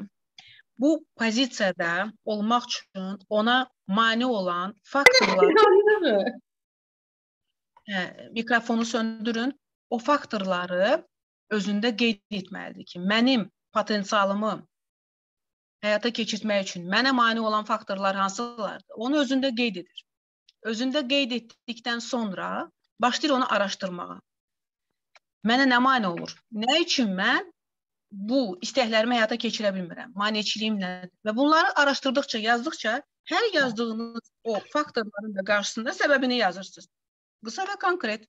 Bu sizin məqsədlərinizin nə qədər məqsədyönlü olmağınızdan, nə qədər sizin məqsədlərinizin ülvi, özünüzün israrlı, hədəfə doğru getməyinizdən çox şey asılıdır. Sizi tənbəlləşdirən, resurslarınızı bir yerə toparlamağa mane olan nədir? Bax, bu sualları özünüzə verəcəksiniz. Çox sağ olun. Gülər xanım, Bəli, buyurun. Demək, ən öncə çox təşəkkür edirəm bu çıxış üçün. Bundan sonra da dəfələrlə açıb izləyəcəyim bir çıxış oldu. Çox sağ olun. Sevindim. Sadəcə mənə bir məqam qaranlıq qaldı. Mən hər hansı bir balaca uşağa çox qəşəngsən, saçların qəşəngdir, üzün qəşəngdir. Belə komplimentlər deməklə, əzizləməklə onu mükəmməlləşdirməyə itələmiş oluram, yönləndirmiş oluram. Yəni necə? Bu mənim şəxsi fikrimdir ki, siz övladınıza çox gözəlsən, çox qəşəngsən demək yerinə siz ona yaşına uyğun olaraq, onun inkişaf dinamikasına uyğun olaraq elə həyatı biliklər söyləyin ki, o onun həyata dayanıqlılığı güclənsin. Siz bilirsiniz ki, həyat elə gözəllikdən ibarət deyil axı. Nə qədər gözəl demək olar uşağa, nə qədər izləmək olar. Ondan sonra daha səmərəli bir fikir söyləyin övladınıza ki, o uşağınız həyata psixoloji dayanıqlılığı güclü olsun. Və gözəl gözəl deməklə, halva halva deməklə ağız şirin olmur ki. Gözəllik bəlkə heç, heç o uşaq yavaş zaman keçdikcə ki, ay mama, kaş mənə bunu öyrədərdin. Ay ana, kaş mənə bunları aşılayardın. Elə tərifləyə tərifləyə şişirtdiniz məni dağ başına qoydunuz. Mənə bir nümunə verə bilərsiniz? E, məsəl üçün təsəvvür yaransın ki, nə tip şeylər deyim? Siz uşağınızın yaşına uyğun, onun qavrayacağı informasiyaları həyat bilgilərini ona aşılamalısınız. Valideyn olaraq sizin özünüzün də bu haqqda müəyyən bilgiləriniz olmalıdır ki, məsəl üçün hər yaş, hər yaşa uyğun olan informasiyalar nədir? Özünü tanıması, öz mənini tanıması, öz cinsini tanıması, Yəni neçə yaşı var? Neçə yaşı var övladınızın? Övladım deyil, 6-7 yaşlı bir uşaqdır. Fərq etməz. 6-7 yaşlı uşaq artıq öz cinsini tanıyan biridir. Yəni onun o qədər sualları var. Onun sizdən eşitmək istədiyi o qədər vacib məqamlar var ki, niyə o gözəl sözünü sizdən eşitməyi? Daha çox fokuslanın. Qohumunuzdursa, doğmalarınızdandırsa, fokuslanın onun təsəvvürlərinə, fantaziyalarına ki, o uşaq nə fikirləşir, ona şəkillər çəkdirin. Onun örgənin onun daxili aləmini ortaya çıxardın. Vizual olaraq lazım deyil çox tərifləmək. Bu mənim şəxsi fikrim. Aydındır, çox sağ olun. Buyurun. Tamam. Axşamınız xeyir olsun. Buyurun. Bir sual vermək olar. Buyurun, Əvvəlcə buyurun. çox təşəkkür Cənab bəyə də, sizə də. Mənim sualım belə olacaqdı ki, yetərsizlik hissindən necə qurtulmaq olar? Yetərsizlik hissinin də öz kökü var. Yəni o da uşaqlığa dayanır. Yəni insanın zaman-zaman həyatda bir qazandığı olur, insanın qazandıqlarını dəyərləndirməsi olur. Mükafatlandırması ola da bilər, olmaya da bilər. Sadəcə insanın özünün fərqində olması üçün yaşadıqlarından dərs çıxarmalı. Emişqa. Sağ olun. Mikrofonu bağlayırsınız. Mhm. Yəni insan yaşadıqlarını dəyərləndirməyi bacarmalıdır. İnsan hər yaşadığını dəyərləndirərək mən nə qazanmışam, qazandıqlarını qiymətləndirməlidir. Bu olmadığı təqdirdə elə insanda yetərsizlik duyğusu olur. Öz güvəni aşağı düşür, özünü tamamlaya bilmir. Müəyyən natamamlıq kompleksləri olur. Ya xarici görkəminə görə, ya ətrafdan eşitdiyi informasiyalara çox ilişir qalır orada. Yəni bu insan öz sərhədlərini müəyyən etməyi bacarmalıdır. Buyurun, sualları. Xeyir. Axşamınız xeyir. Necəsiz? Yaxşıyam, təşəkkür edirəm. Siz necəsiz? Ə, çox sağ olun xanım. İnanın ki, zövq aldım sizə qulaq asmaqdan. Həqiqətən çox ə, kömək oldunuz. İnanın ki, psixologiyanı o qədər gözəl, o qədər gözəl elmdir ki, o qədər sevirəm o elmi, həqiqətən. Ə, sizə baxanda sanki nə gözəl özümlə danışıram. İnanırsınız? Hər kəlmənizdə, hər dediyiniz, o hər danışdığınız mövzuda sanki özümü görürəm. İndi sizdə sizdə bir şey demək istəyirəm. Elə bir ki, özümdən biraz deyim. Yəni iki övladım var, ailəliyəm, 33 yaşım var. Artıq ə, həyatda çox şeyə nail olmuşam. İşləyirəm, oxumuşam. Özümü ə, necə deyim sizə, şanslı qadınlardan hesab edirəm. Yəni ə, yaşıma görə ə, özümü məncə ə, çox şeyə sahib olduğumu düşünürəm.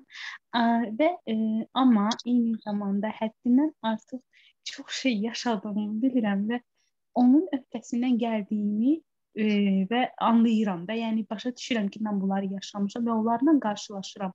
Siz bayaq dediniz ki, dəyərləndirmək hər bir situasiyanın dəyərləndirirsiniz özünüz, ondan nəticə çıxardırsınız, ondan dərs çıxardırsınız. Bu sizə nə verdi və eyni zamanda da pozitiv qalıram. Buna həs həqiqətən özümü həsəd aparıram ki, mən nəyə görə küsmürəm? Siz inanırsınız ki, mən heç kəsdən küsmürəm.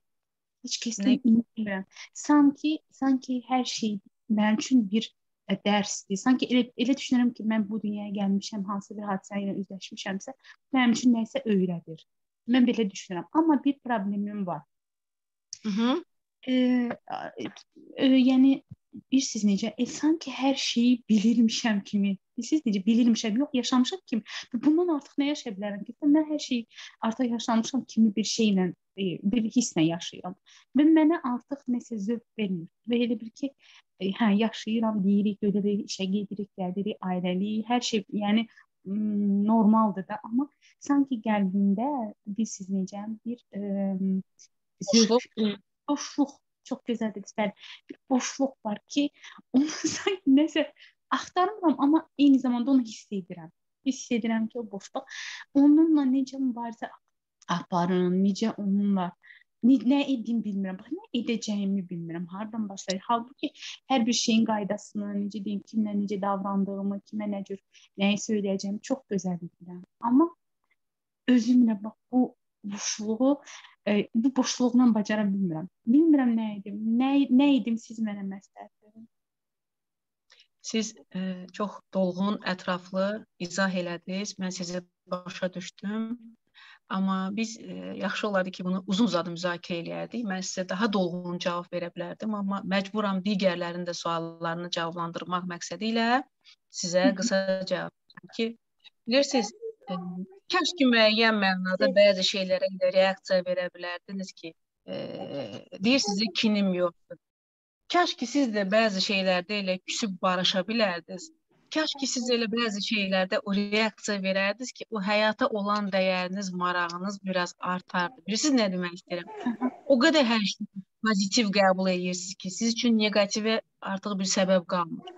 Amma bizim biz insan, bir insan olaraq yaşamaqdan zövq alır. Siz nə qədər desəz də, sizin özünüzlə müəyyən bir sərhədləriniz var.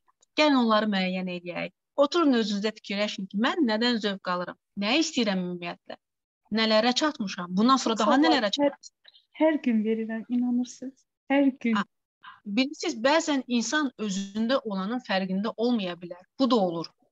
Bəzən də insan özünü müşahidədə çətinlik çəkir. Bəlkə də o elə bir nöqtədədir, elə bir boşluqdadır ki, onu kimsə oradan çıxartmalı. Bunu tutub geyinmə.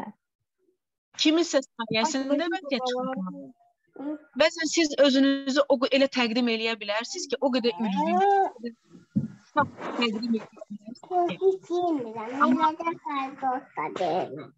Amma bu əslində reallıqda belə olmaya da bilər. Bəlkə siz danışsaz, fərqli bir şeyləri sizdən soruşsaq, siz ağlaya da bilərsiniz. İçinizdən daha fərqli duyğular da ortaya çıxa bilər. Ona görə sizin durumunuzda vəziyyət bağlı otaqda təhlil olunsa daha məqsəd uyğun olardı yəni. Gəlin öz mütəxəssisinizin yanına. Bir mütəxəssis, bir psixoloqla maraqlanın. Yəni mütləq şəkildə gedin, açılın, danışın. Mənə elə gəlir ki, orada hər hansı nüans var ki, mütləq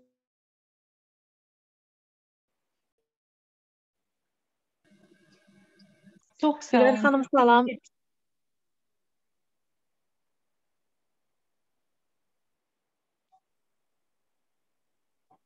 Səslər gəlir, səsim gəlirsə Gülər xanım. Gülər xanım, siz səsinizi aça bilərsiniz, üzr istəyirəm. Açıq səslər çox idi və müayinə olurdu. Ona görə hamısını söndürdü bir dəfəlik. Aha, indi necə?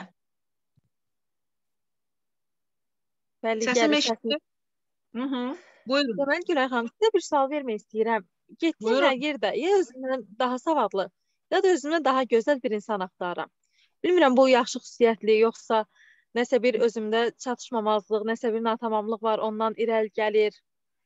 Yəni elə bilirəm ki, daha gözəl insan görsəm daha gözəlləşə bilərəm. Daha savadlı insan görsəm ondan daha çox məlumat əldə edə bilərəm. Siz öncə dediniz ki, ə, ailə qurmaq istəyirsiniz belə bir insanla, yoxsa ümumiyyətlə belə bir insanla münasibət, yəni Xeyr, ünsiyyətli xeyr. olmaq? Ailə deyil, ailə yox, rəfiqə arası olsun, universitet arası olsun. Yəni Aha. ümumiyyətlə həyatda. Həmişə özümə Siz- gözəl insan axtarıram, ya da çox savadlı. Siz mükəmməlliyətçi insansınız.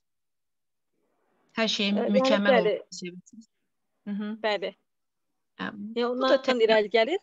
Da təbiidir ki, amma mən məsəl üçün e, sizə belə bir tövsiyə edərdim ki, e, hətta arada imkan olsa çöldə hər hansı bir dilənçi ilə də söhbət eləyə bilərsiniz. Məsəl üçün.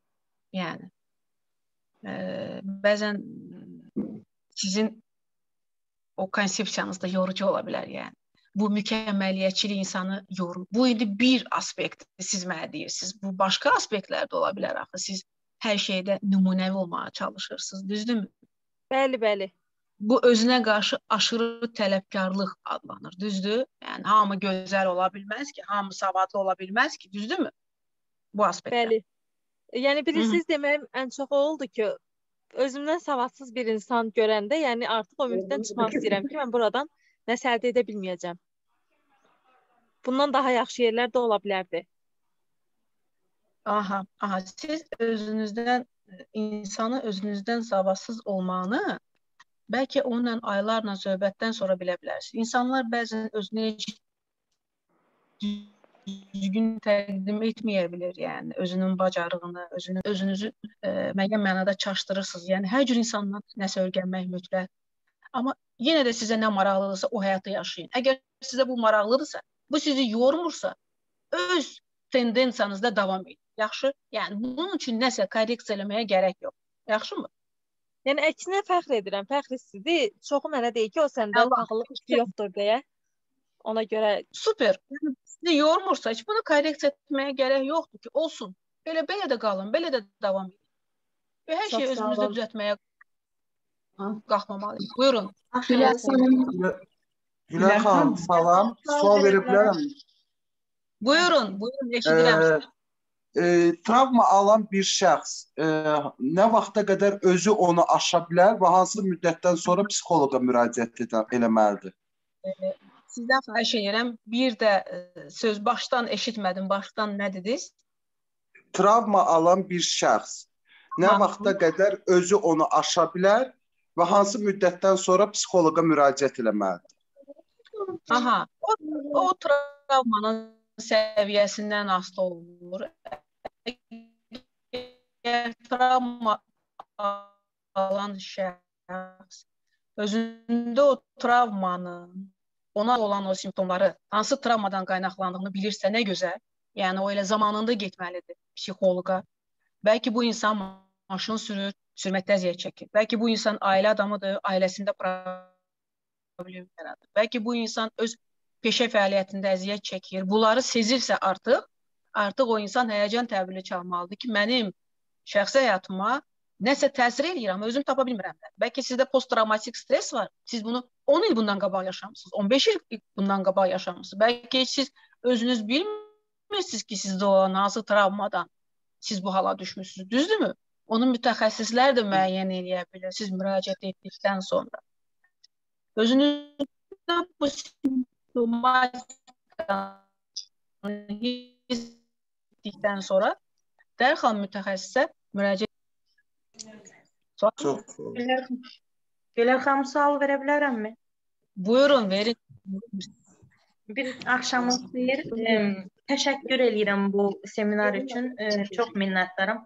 Çox xoş oldu mənim üçün. Həqiqətən. Deməli sualım belədir ki, insan e, keçmişində olan bəzi e, nüanslardan necə qurtula bilər? Yəni çiyninə alıbdı, heç cürə tulaya bilmir. Bəzən hətta elə olur ki, yəni hmm, deyir ki, onlarla danışıram da. Məsələn, onlara acığımı tökürəm falan filan. Yəni bunlardan necə qurtula bilər? E, bu haqqda mənə bir Elə bizim baxın mən sizə qısa fikrimi söyləyəcəm çox qəşəng ifadə edirsiniz. Bu gün insanların əksəriyyəti bu vəziyyətdədir. Deyirsiniz çiyninə alıb qurtula bilmir. Deməli bu insan əziyyət çəkməkdən zövq alır. Mazoxistdir də. Özünə əziyyət verməkdən zövq alır. Özü də bir xəbərdir bundan. Xəbərsizdir özü də. Necə zövq alır? Ağır ağrımır çiynindən, yorulmursun. Onu düşündükcə, keçmişdə qaldıqca nə isə təhlil edə bilirsiniz. Sadəcə sual verirəm sizə. Yox. Nə təhlil edə bilmirsiniz, nə yoluna qoya bilmirsiniz. Hə? Nə təhlil eləmirsiniz, nə yoluna qoya bilirsiniz. O zaman mən beynimi bu informasiya ilə yükləyirəmsə, axı mən onda yeni informasiyanı qəbul eləyə bilmirəm axı. Mən həyata irəli baxa bilmirəm axı. Anımı yaşaya bilmirəm axı. Elə keçmişdə qalmışam axı. Bunu düşünərəkdən anımı yaşamaq istəyirəm. Keçmiş bitdi də day. Mən onu gətirə bilmərəm ki, o bitdi. Adına baxın, keçmiş. Və mən nə qədər dala baxacağam? Dala baxsam qabağımda nəsə çıxsa, başım dəyəcək axı əziləcəm axı. Ya maşın çıxacaq, ya nəsə çıxacaq. Nə qədər dala baxa-baxa qala bilərəm. Okay? yəni bu cür izah eləsək daha rahat olar, hə? İnsan e, helələrin astasılığından qurtular. Baxır insanın təfəkkür o insanın əgər qavraması, təfəkkürü bunu dərk eləyəcəksə izah eləyin. Yox əgər o insan elə zülmət Baxın qoyun nə qədər Gülər xanım. Təşəkkür edirəm. Təşəkkür edirəm. Sağ olun. Gülər xanım. Bəli. Bir bir sualım olacaq.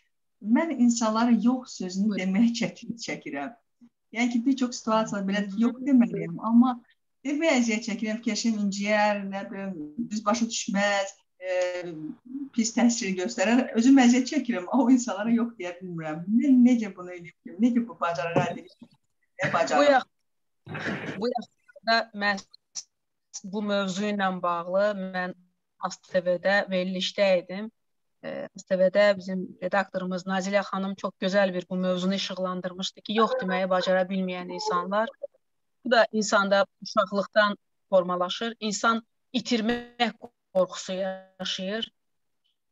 İtirmək qorxusundan dolayı hər kəsəni təmin etmək istəyir. Hər kəsəni razı salmaq istəyir və insanlar da bundan sui-istifadə eləmək istəyir. Görürlər ki, elə bu yox demir, elə deyir, elə yüklüyüm bunu elə. Bütün işimi, Bəs. gücümü idarə eləsin. Onsuz da yox deməyəcək. Onsuz da nə deyir yox. Hı -hı. Yəni insan özünə dəyər verməyi bacarmalıdır. Siz ona, onlara yox deməməklə əslində özünüzə yox deyirsiniz. Siz onlara hə deyirsiniz, amma özünüzə yox deyirsiniz. Özünüzdən onlara daha çox verirsiniz. Və deyim sizə ki, insanlar heç də yaxşı dəyərləndirmir yox deməyi bacara bilməyən insanlara. Onlar o insanlara biraz aşağı gözlə baxırlar ki, özünə dəyər vermir deyə. Lazım deyil bu qədər yumşaq olmaq.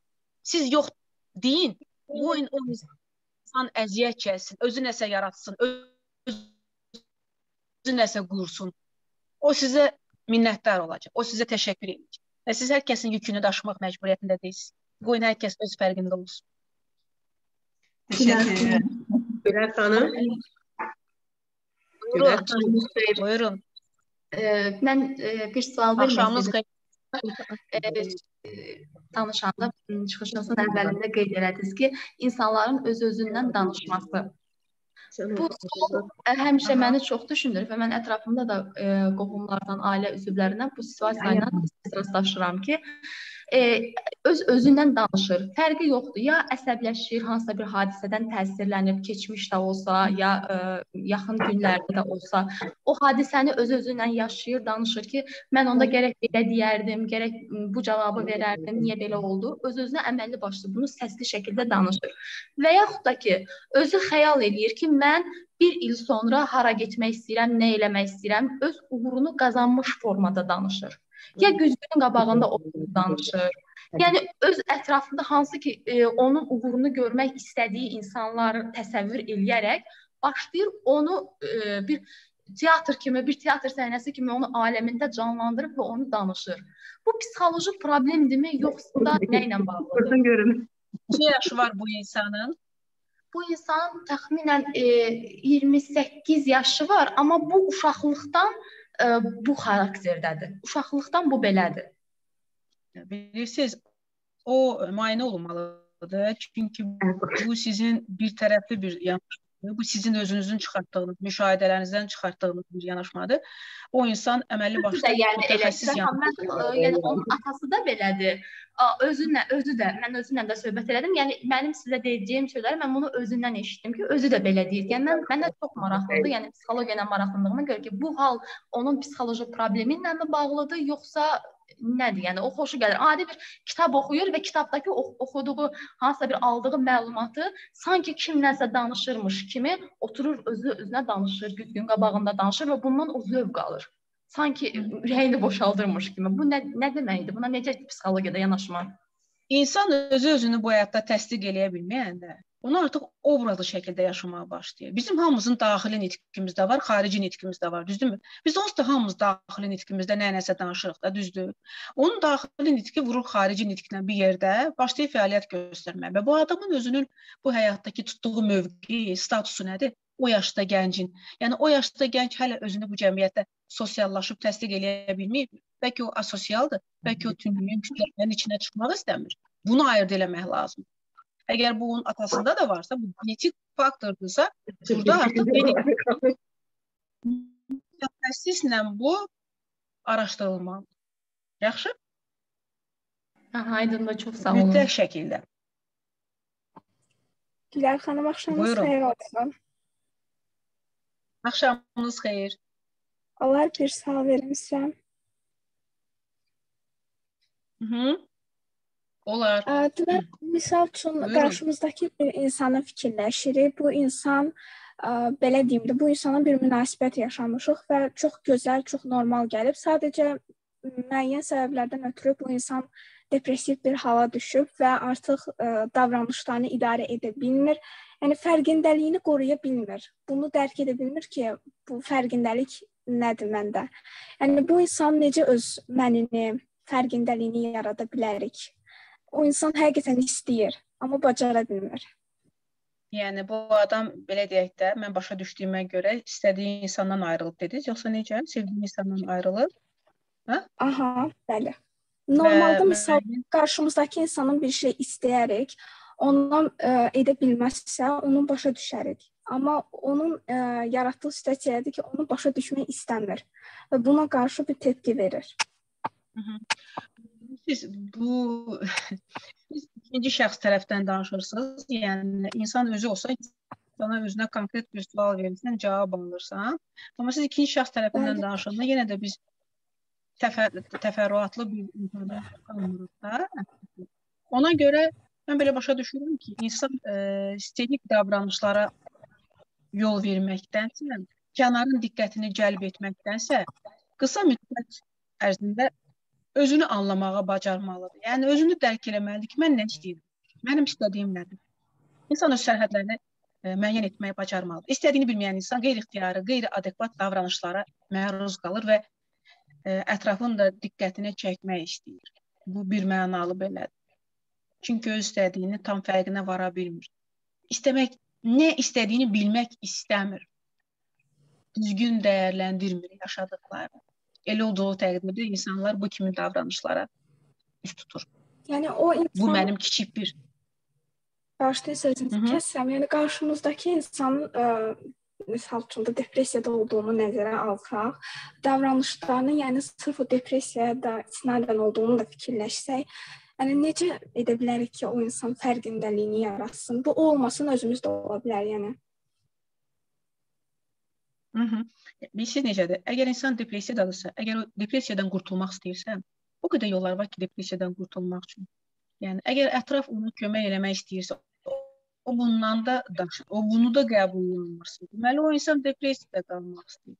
Yəni mən sizin sualınızı düzgün başa düşmürəm. Yox, əgər o bu vəziyyətdən çıxmaq istəyirsə, müraciət eləsin psixoloqa ki, mən mən bu vəziyyətdən çıxmaq istəyirəm. Düşdüyüm vəziyyətdən qurtulmuram. Dostlarım da mən məndən bezir, yorulur və ona görə mənə yardımcı olun ki, mən necə qurtulum bu vəziyyətdən. Yəni insan müraciət etməlidir. İçindəkini bölüşməyi bacarmalıdır. Belə kifayət edir sizə bu müqavilə. Olar bir sual verim. Gülər xanım. Buyurun, buyurun. Gülər xanım, sual da deməyim, belə bir, bir çelişki yaşayır insan özü ilə. Baxın, bir nə dedik? Dedik ki, bəzən hər şeyi olduğu kimi qəbul etmək, küsməmək, neqativ fikirləşməmək, pozitiv yanaşmaq, özünü sevmək, bunlar tamam yaxşı şeylərdir, gözəl şeylərdir. Çətin. Amma bəzən bunlar emosiyaları elə bir dondururmu desək, yəni Küsməyin özü də bu bayaq nətər qeyd etdik. Küsməyin özü də bir gözəl bir şeydir. Məsəl üçün uman yerdən küsərlər və həmin dəyər verdiyin insana küsürsən, sonra ona barışdığın anda yaşadığın o adrenalin belə o insana lazım olan o hisslər məncə insanı ayaqda tutmağa da çalışır, həyata zövq, həyat zövqünü də artırır, enerjisini də artırır. Yəni onda çelişki yaşayırıq biz burada. Bax bunu aydınlaşdırmaq istəyirəm ki, bax onda insan nə istəyir? Yəni psixologiyada demək ə, konkret bir şey yoxdur. Yox, yox, yox, yox. Gəlin belə eləyək. Biz fərqindəlik deyəndə biz demirik ki, sənin üzünə söysünlər, səni təhqir etsinlər, sən onun üzünə güldünən ki, mən burada müsbət nəticə çıxaracağam Aha. və deyəcəm ki, ə, e, fərqindəliyimdən dolayı çıxış Aha. eləyəcəm. Söymə, təhqir eləməlidir. Biz ondan danışmadıq ki. Biz hələ o tərəflərə keçmirik də artıq. Yəni məsələnin o tərəfi də var. Mən də sizdən razıyam. Mən psixoloqam. Mən bəyəm əsəbləşmirəm. Mən bəyəm duyğularım yoxdur. Aha. Yəni mən sizə qayıdıb desəm ki, mən çox pozitiv insanam. Mən Aha. çox huzurlu, çox sakit, səbirli, çox gülməli görsələr inandırıcı olmaz. Məni tanıyan insanlar bilir ki, mən emosional insanam. Yəni deyib gülən, danışan amma həm də həmçinin hisslərimi büruzə verən insanlar. Bu çox normal incikliğimi büruzə Bu mənim xətrimə dəyir. Bəyəm psixoloqun xətrinə dəymə olmaz. Psixoloqun Yəni bu elə deyil. Mən sizinlə tam razıyam. Gözəl qeyd elədiniz. Amma məsələnin digər tərəfindən yanaşsaq, fərqindəlik o deməkdir ki, biz düşdüyümüz elə situasiyalar var ki, biz orada boğuluruq. Buradan özümüzə xidmət edəni tapa bilmirik. Biz bəzən əsiri oluruq düşüncələrimizin. Orada ilişib qalırıq. Amma sizinlə tam razıyam. Küsmək də lazımdır biraz. Barışmaq da lazımdır. Onun ləzzəti ayrıdır. Hisslər, insani hissləri yaşamaq lazımdır. Təbii ki, Rövşən mənə su gətirdi bu. Və və hər şeydən biraz biraz normada yaşamaq, mən sizə bayaq qeyd elədim. Onsuz da bu qaçılmazdır. Bizim həyatda o qədər informasiyalarla üzləşirik ki, sosial şəbəkələri açırsan, o qədər informasiyalar, o qədər e, nə bilim kommentlər yazırlar. Pisi də olur, yaxşısı da olur, könlümüzü bulandıran olur, ürəyimizi açan olur. Belə hər şey gözəl-gözəl ola bilməz ki bu həyatda. Hamı elə ülvi olsun, hamı yəni, yaxşı yəni, olsun. Mükəm, mükəmməl və ideal olmaq məcburunda deyilik. Məcbur deyilik biz ideal və mükəmməl olmaq. İnsan öz savabları ilə və kitabları ilə Mən sizinlə tam razıyam. Belə e, siz mənə qulaq asmısınız, əla, gözəl, amma mən yəqin ki, orada bir şey də qeyd etməliydim. Amma hər şeyi qeyd etmək olmur axı. Hər şeyi tam içdən söyləmək olmur. Onda gəlin mən səhərdən axşama kimi danışam. Yəni bizim həyatın digər tərəfləri var ki, bəli, biz orada müəyyən qədər, müəyyən qədər cavab da verməliyik, hisslərimizi, duyğularımızı bir üzə verməliyik. Bu mümkünsüz. Özümüzü müdafiə etməliyik. Və sonra yenə də hadisələrə adekvat yanaşaraq çox hadisələrə adekvat yanaşaraq düzgün dəyərləndirməliyik. Oradan özümüzü bizə xidmət eləyəni, bizim xeyrimizə olanı götürməliyik. Amma sizin dedikləriniz qaçınılmazdır. Bir də görürsən nəqliyyatda, bir də görürsən dükanda elə belə qeyri-adi belə hadisələr olur ki, belə istəyirsən psixoloq olma, istəyirsən hansı peşənin sahibi ol. Müəyyən qədər reaksiya verməsən olmur. Bu normaldır, bu təbiidir. Bunlar hamısı bunlar hamısı olmalı olacaqlar. Bəli. Mən də onunla razıyam. Çox sağ olun. Siz sağ olun. Vermək istəyirdim. Buyurun, buyurun. Mən sizə dedim, potensialım belədir. Elə, yəni özümü tanıyıram da demək olar ki. İndi belə bir şey var ki və mən nə etməli olduğumu çox hissəsində bilirəm ki, düzəlmək üçün məsəl üçün nə etməliyəm. Bu işə də başlayıram, çox zamanda yarımçıq qalır və bitir. Bir də belə bir şey var ki, məsəl üçün baxıram dostlarım və yaxud da yaşıdlarıma, problemi olan birilərinə ki, bu qalxmaq üçün, düzəlmək üçün nə etməlidir və onlara başlayıram məsləhətlər verməyə ki, belə elə düzəl. Amma özüm eləyə bilmirəm. Məsələ məsələ bizim danışığımız boyu bildirdiyimiz o idi ki, insan başqalarını daha çox görür, fikirlər, rəylər bildirir, amma özünün fərqindəliyinə vara bilmir. Həmin o söylədiyin, o onlara ötürdüyün o resursların çox hissəsini özünə yönə, özünə yönəltsən, özünü dəyərləndirə bilsən, özünün fərqində olsan, özünü ucalda bilsən, sən irəli gedə bilsən, onda sənin özünə dəyərin 1-ə 5 yox, belə frekansında yüksəlir, özünə dəyərində yüksəlir. Hə, o zaman deyə bilərsən ki, mən artıq özüm özümü aşmaq ərəfəsindəyəm. Mən artıq öz potensialımın sayəsində irəli getməkdəyəm. Bax, bunu özünə sərf elə, o resursların, başqalarına deyil. Onda belə çıxır ki, sən başqalarının gözündə özünü təsdiq etmək istəyirsən, heç öz gözündə təsdiq olmursan. Özün özünü təsdiq eləyə bilmirsən, başqalarının gözündə təsdiq olunmaq istəyirsən. Bu o anlamı da kəsb eləyir. Anladın məni? Xeyir Gülər xanım. Şeydir, mən də kömək eləməyin. Axşamınız xeyir. Buyurun. Gülər xanım, niyə bir insana illərlə bağlana bilirəm? Nəyə görə o insanı hər addımımda onu arxamda hiss edirəm? Qorxudurmu? Yox, iki iki fikir söylədiniz. Niyə mən insana bağlanıram? Niyə hər dəfə onu arxamda hiss etmək istəyirəm, yoxsa hiss Yox, edirəm? Hiss edirəm. O insan var, yaşayır. Yaşayır, yaşayır. Siz o insana bağlısınız.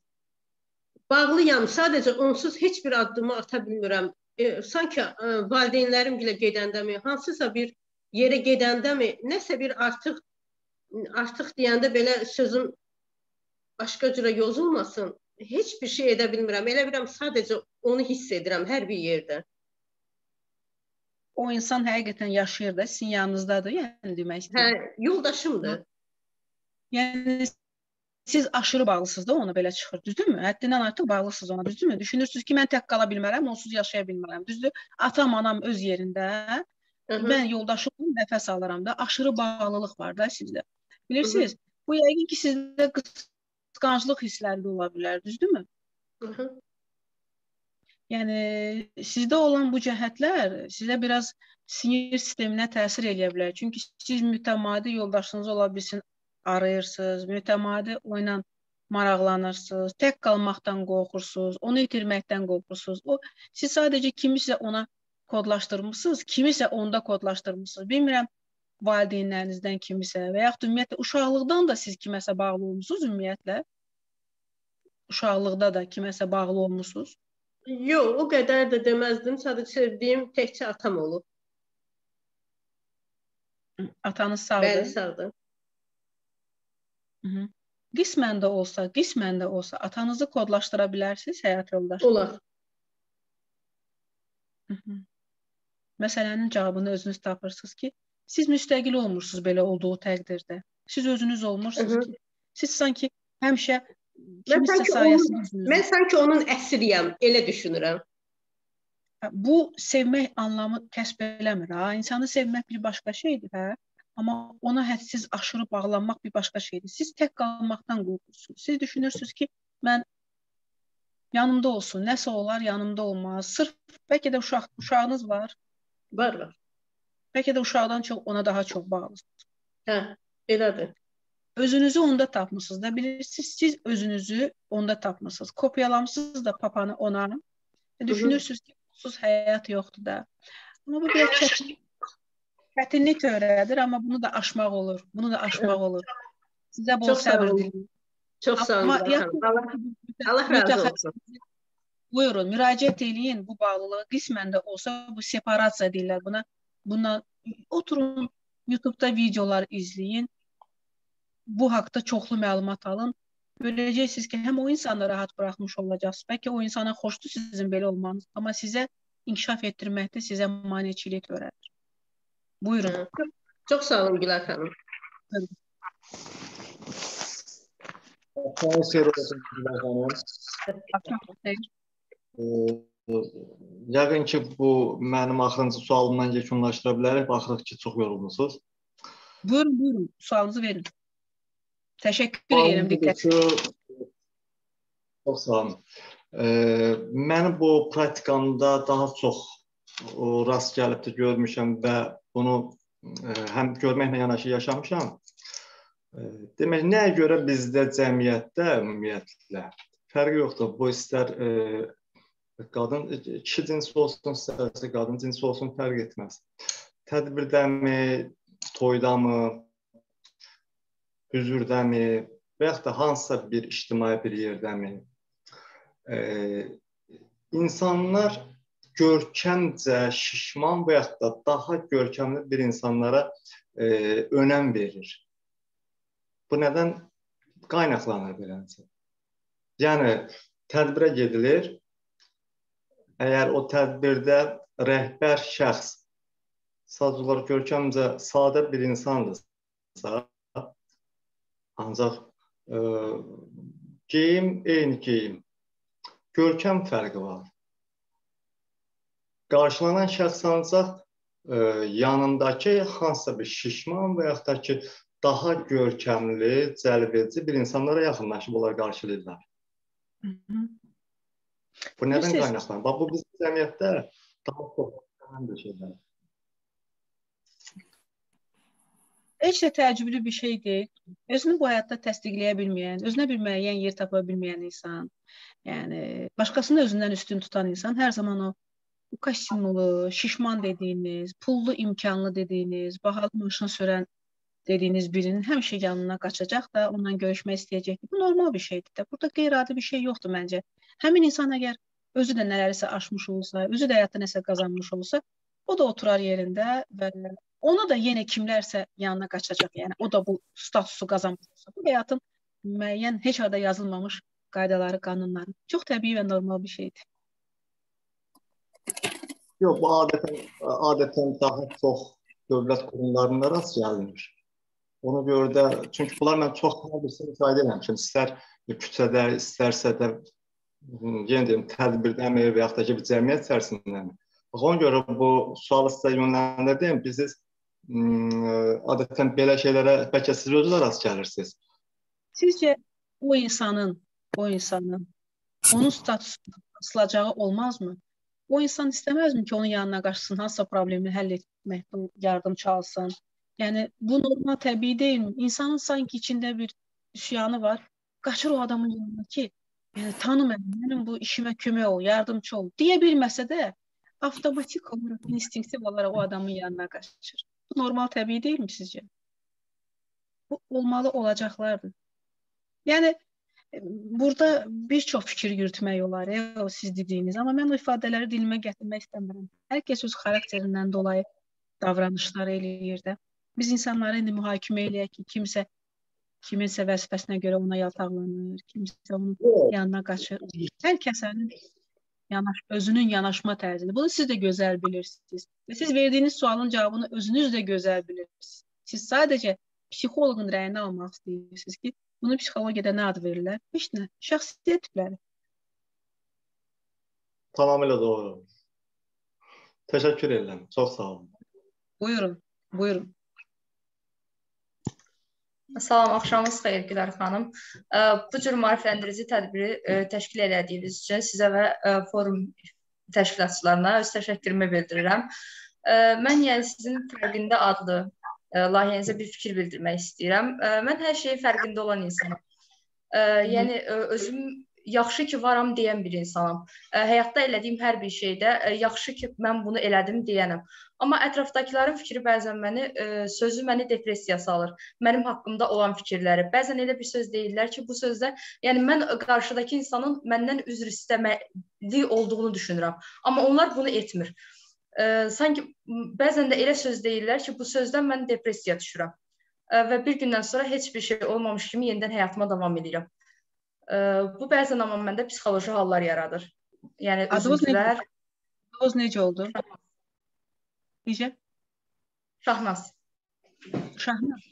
Əgər siz öz elədiklərinizdə özünüzü təsdiqləyib özünüzü haqlı hesab eləyirsinizsə, kənarın, yəni ictimai rəyə bir o qədər əhəmiyyət vermək, verməmək çətin olur.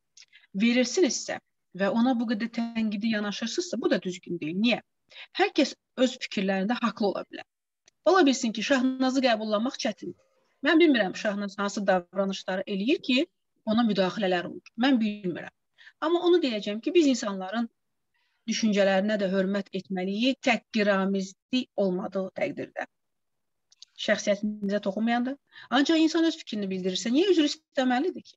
Yox, əgər Şahnazın həyati maraqlarına toxunursa, bəli, o zaman o Şahnazın üzr istəmək deyil də, Şahnaz o insanları sadəcə özünün həyatından kənarlaşdırır.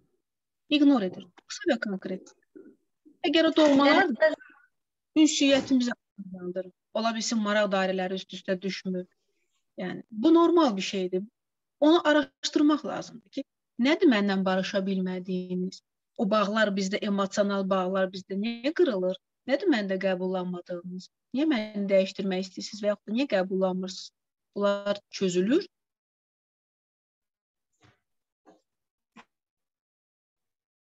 Bu çözülür və zamanla baxırsan ki, əla, mən bunu bacardım. Bunun üçün əsəbləşmək, depressiyaya düşməyə gərək yox. Hər kəsənin özünün baxış bucağı var. Hər kəsən situasiyanı özünə məxsus görür və qəbul edir. Yəni bəzən olur ki, seçimlərimdə mənimlə tam əks fikirdə olanlar olur. Adi belə bir ixtisas seçimində belə məndən əks fikirdə oldular. Amma yenə mən ə, e, öz istəyim üçün, öz məqsədim üçün mübarizə aparan bir insanam. Amma ə, e, tam fərqli fikirlərin olmağı bəzən məni ə, e, həvəssizlik yaradır. Biraz səbirsiz idiyəsəm, biraz özümüzün istəklərimizi daha ön plana çəkmək istəyirik, aydın məsələdir. Amma hər kəs sənin kimi israrlı olacaqsa, bəzən burada rəqabət olacaq. Bunu səbirlə atlatmalısan. Bunun üçün depressiyaya düşməyə gərək yoxdur. Hələ bu nədir ki? Hələ sənin nə yaşın var, gəncsən, hələ bütün həyatın öndədir. Yəni biraz o resurslarını saxla gələcəyinə. Yaxşı? Çox sağ olun. Sualımı cavablandırdığınız üçün sizə təşəkkür edirəm. Buyur. Buyur. Qısa bir müddətdə bacardığım. Axşamınız, axşamınız xeyir Gülər xanım. Axşamınız xeyir. E, bu qədər Buyurun. ürü zamanda suala cavablandırırsınız. Artıq sual vermək istəmirdim. Prosta yenə də. Yox, yox. bu forum elə təşkil olunmuyor. Sualları verməlisiniz. Buyurun. Çox sağ olun. Mən özüm baxmayaraq ki, psixoloqam, yəni bu il bitirmişəm də. Amma yenə də uje o qəbullanmaq prosesi dediniz siz. Mən o prosesdə elə bil dayanıram və ə, e, həyatdan belə soymuş kimiyəm. Yəni ə, həyatı sanki boşa yaşayırmış kimi hiss eləyirəm. Hər günüm belə eyni monoton, dərsə get, gəl. Yəni yolda, yəni heç nə fərqi fərqinə varmıram da heç nə. Ancaq düşüncələrimlə gedirəm və evə gəlirəm, yenə düşünürəm. Səhər yenə düşünürəm, gedirəm, gəlirəm belə ancaq. Səhər yəni, səhər duranda əl üzünüzü yuyursunuz, 100% dişinizi yuyursunuz, tərtəmiz gül kimi qız olursunuz. Amma psixikanızın gigiyenasından məşğul olmursunuz. Mən niyə bunları düşünürəm? Səhər açılır, əgər mən günə pozitiv başlaya bilərəmsə, niyə mən niyə bunları düşünürəm? Niyə bunlar mənə maneçilik öyrədir? İnsan öz sərhədlərini müəyyən etməli və yaşadıklarını ortaya qoymağı bacarmalıdır, analiz etməyi bacarmalıdır. Ələxüsus da psixologiya sahəsində oxuyanlar ilkindən özündən başlamalıdır ki, sonra bu peşəni layiqincə davam etdirə bilsinlər, empati qura bilsinlər. Siz bunu bacaracaqsınız. Əminəm ki, bacaracaqsınız. Səsinizdən cavan birisiniz. Bəli, 22 yaşım var. Yəni, simvolik 22 yaşınız var, siz bunu aşacaqsınız. Bu sizdə alınacaq. Yaxşımı? Tamam, çox Sadəcə. Əziz dostlar, çox üzr istəyirəm. Gülər xanım biz çox yorduq. Söz verdiyimizdən də daha çox suallar verdi. Mən bilirəm ki, hər birinizin sualları çoxdur və hələ də suallar vermək istəyirsiniz. Təbii ki, elədir. Ona görə çox gözəl mütəxəssisdir, çox gözəl insandır, ürəyi açıqdır və biz bundan gəlin sui istifadə etməyək. Amma eyni zamanda deyim ki, Gülər xanımın Instagram səhifəsi də var və 5000-dən çox onun tələbələrindən izləyənlər də var. Çox təəssüf edirəm ki, 10 mindən çox yalnız şəxsən tanıyan tələbələr yəqin ki var, amma hamı bilmir Instagram səhifəsini. Yəqin hamı sosial şəbəkələrdən istifadə etmir. Siz istifadə edə bilərsiniz. Bizim səhifənin izlədiyi səhifələrdən biri Gülər xanımın şəxsi səhifəsidir. İnstitutun səhifəsi deyil, mərkəzin səhifəsi şəxsən özünün idarə etdiyi səhifədir və yaxud köməkçilərindən kimsə idarə edir, hətta özü məşğul olanda. Ona görə yaza bilərsiniz sonra Növbəti seminarlarında Gülər xanımın bir-birindən maraqlı seminarları olur, mütəmadi təlimləri keçirdir, canlı yayımlar arada eləyir və siz onlardan bütün məlumatları birbaşa Gülər xanımın öz səhifəsindən ala bilərsiniz. Ona görə izləməyi unutmayın. İcazənizlə biz istəyərdim ki, bugünkü bizim seminarın hissəsini, əsas hissəsini yekunlaşdıraq və Gülər xanımla bu birinci belə görüşümüz deyil, əslində qalsa birinci onlayn seminarımızdır, amma birinci seminarımız deyil. Daha öncə də forumlarda bir yerdə iştirak etmişik. Arzu edirəm ki, növbəti seminarlar olacaq, bir-birindən maraqlı mövzular olacaq. Suallarınız təcilidirsə, özünüzü əks etdirən hansısa məqamları gördünüzsə, buyurun birbaşa Gülər xanıma müraciət eləyin. İmkan daxilində hamınıza diqqət yetirəcək. Kənan bəy, sizə təşəkkür edirəm. Sizin ailənizə, sizin ətrafınızda olan bütün sizə dəstək olan insanlara öz təşəkkürümü bildirirəm ki, mən özüm çox humanist bir insanam, insansevər bir insanam, gözəl qeyd elədiniz. Amma ona görə təşəkkür edirəm ki, bu qədər gözəl şərait yaradırsınız. Yəni bunu necə etmək olar da? Yəni bu bu ürəyin sahibi bunu necə yaradırsınız? Nə üçün eləyirsiniz? Bəlkə reklam xarakterli düşünənlər olar, amma belə yox. Bu böyük bir e, müdriklikdir həqiqətən. Buna görə sizə minnətdaram. Təşəkkürümü bildirirəm ki, deməli, yəni mən sevinirəm ki, sevinirəm ki, müəyyən bir nəsə ötürə bildim, müəyyən bir informasiyanı ötürdüm ki, minnətdarlıq hissi aldım. Arada belə açıq seminarlar da keçirmək lazımdır ki, ə, tək belə deyək, tək bizim mütəxəssisləri, bizim mərkəzin, bizim mə mə məktəbin mərkəzlərin mütəxəssislərini yox, bütün Azərbaycan həmrəylik forumun məqsədi odur ki, bütün yaxşı mütəxəssisləri tanısınlar, hamını izləsinlər və insanlar ə, deməsin ki, Azərbaycanda psixoloq misal üçün sözü yoxdur deyəndə mən ə, mən psixoterapevt olsam da, amma psixoloqlar yoxdur deyəndə mənim xətrimə dəyir. Deyirəm ki, yetərincə çoxlu peşəkarlar var, hətta mütəxəssis yox. Amma ə, razıyam ki, ə, peşəkarlıq dərəcəsi yüksək olanlar ə, ümumi sayı baxımından o qədər çox deyil. Elə də tədris ə, baxımından təkmilləşməyə çox ehtiyac var. Azərbaycan hələ psixologiya sahəsində təzə-təzə inkişaf eləyir. Bu ayrı-ayrı fərdlərin, peşəkarların təşəbbüsü hələ yetərli deyil təbii ki. Ona görə ki, biz bu sahədə təzə inkişaf edirik, təzə infrastruktura yaradılır, amma son illərdə gördüyümüz dəyişikliklər bizə bir ümid verir ki, çox qısa müddətdə Azərbaycanda psixologiyada ən inkişaf eləmiş ölkələrdə olduğu səviyyəyə gəlib çata bilər. Belə sürətlə getsə, hətta necə deyilir, Avropanı keçərik, hətta ötərik, çatarıq da, ötərik də. Bu psixologiya yeganə sahələrdən biridir ki, yalnız insanlardan asılıdır. Yəni ə, e, texniki bir cihaza ehtiyac yoxdur. Hardasa e, qeyri-adi bir e, avadanlığa ehtiyac yoxdur. Burada mütəxəssis öz bacarıqlarını, biliklərini digər insana ötürür və o insan da növbəti insana estafeta kimi ötürür. Ona görə bu sahədə bizə məhdudiyyət yaradan yalnız bizim şəxsi motivasiyamızdır. Bir də minnətdarlığımı bildirirəm sizə. Hörmətli izləyicilər, qeydiyyat və davamiyyət cədvəlində linkləri paylaşılıbdır. Suallarınız olsa bizim Telegram qrupunda yaza bilərsiniz ya da Instagram səhifəmizin direktinə yaza bilərsiniz. Bizim köməkçilər, moderatorlar sizi yönləndirəcəklər. Növbəti günlərdə də sizlə görüşmək ümidi ilə sabah saat 12-də deməli Instagramda canlı yayımda Elnur bəylə görüşəcəyik və axşam saat 8-də Elnur bəy Rüstəmov Psixologiya Tədqiqat İnstitutunun direktoru sədri, üzr istəyirəm. Bəzən dəqiq, bəzən dəqiqliyi mən hə, ə, e, qarışdırıram, ona görə üzr sayın. Ə, e, ə, e, yəni sabah yetərincə maraqlı bir çıxış olacaq. Akademik ə, dərəcəsi, ə, akademik bilikləri idman çox yüksək olan bir mütəxəssisdir. Mən Elnur bəy 2005-ci ildən tanıyıram və bu günə qədər dostluğumuzda ən çox mənə ə, məlumatlandıran, düşündürən, zənginləşdirən mütəxəssislərdən biridir. Ona görə qaçırmayın sabahki çıxışınızı da. Bəy icazənizlə. Bəli, bəli. Məcburam burada sözünüzü kəsəm, məcburam, borcumdur bunu qeyd etmək. Mənim bir praktik psixoloq olaraq yetişməyimdə, yəni mənim e, fəaliyyətimdə Elnur Rüstəmovun, psixoloq Elnur Rüstəmovun çox, çox, çox böyük əməyi var. Bunu dana bilmərəm. Ona buradan öz minnətdarlığımı, dərin təşəkkürümü bildirirəm. Ona və onun ailəsinə onun bütün kollektivinə, keçmiş öz psixoloq iş yoldaşlarıma, psixoloqlara, kolleqalarıma, bütün heyətə öz təşəkkürümü bildirirəm və sizinlə də orada tanış olmuşduq. Yadınıza Bəli. gəlirsə, mən Psixologiya Tədqiqat İnstitutunda və mən öz müəllimlərimi, mənim yanımda olan insanları, mənim potensialımı üzə çıxartmaqda mənə dəstək olan insanları heç vaxt unutmuram, heç vaxt unutmayacağam. Təşəkkürümü bildirirəm. Davam eləyin üzülü sayı sözünüzü kəsdim. Onu qeyd eləməliydim. Baş, baş, yox, sağollaşır da sadəcə. Sağ olun, gecəniz xeyrə qarşı. Sağ olun. Sağ olun, gecəniz